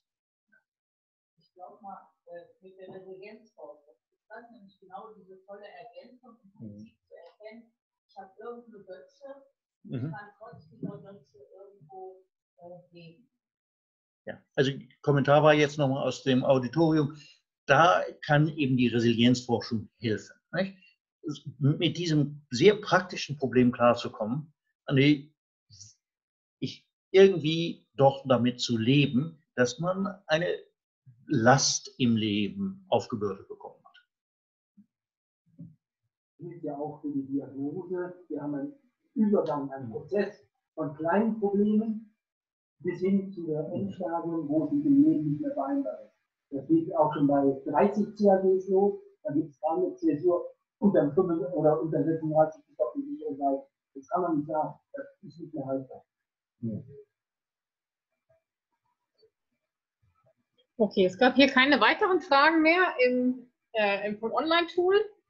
Hier im Raum auch alle gesättigte Informationen. Dann sage ich aber vielen, vielen Dank für diesen tollen Vortrag, für die Informationen. Ach, den sieht ich gar nicht. Das soll, glaube ich, hier stehen.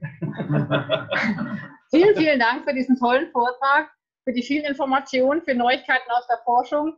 Äh, sei es hinsichtlich nochmal, was kann man bei Therapie, was kann man heute schon machen, was passiert in der Grundlagenforschung, was gibt es Neues an Studien, die auch vor der Tür stehen, was kommt bald und auch die praktischen Tipps, was kann man heute schon machen, um möglichst lange gesund zu bleiben und der Krankheit ein Stückchen zu schlagen. Also ich sage vielen, vielen Dank. Wir verabschieden uns hier aus Duisburg.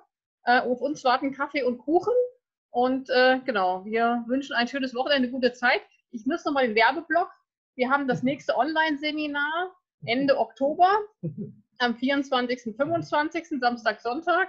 Äh, am Samstag erwartet uns um 15 Uhr die Frau Ruschitzka zum Thema Ernährungsberatung und am Sonntag um 14 Uhr die Frau Glasel und Frau Leithäuser aus Taufkirchen.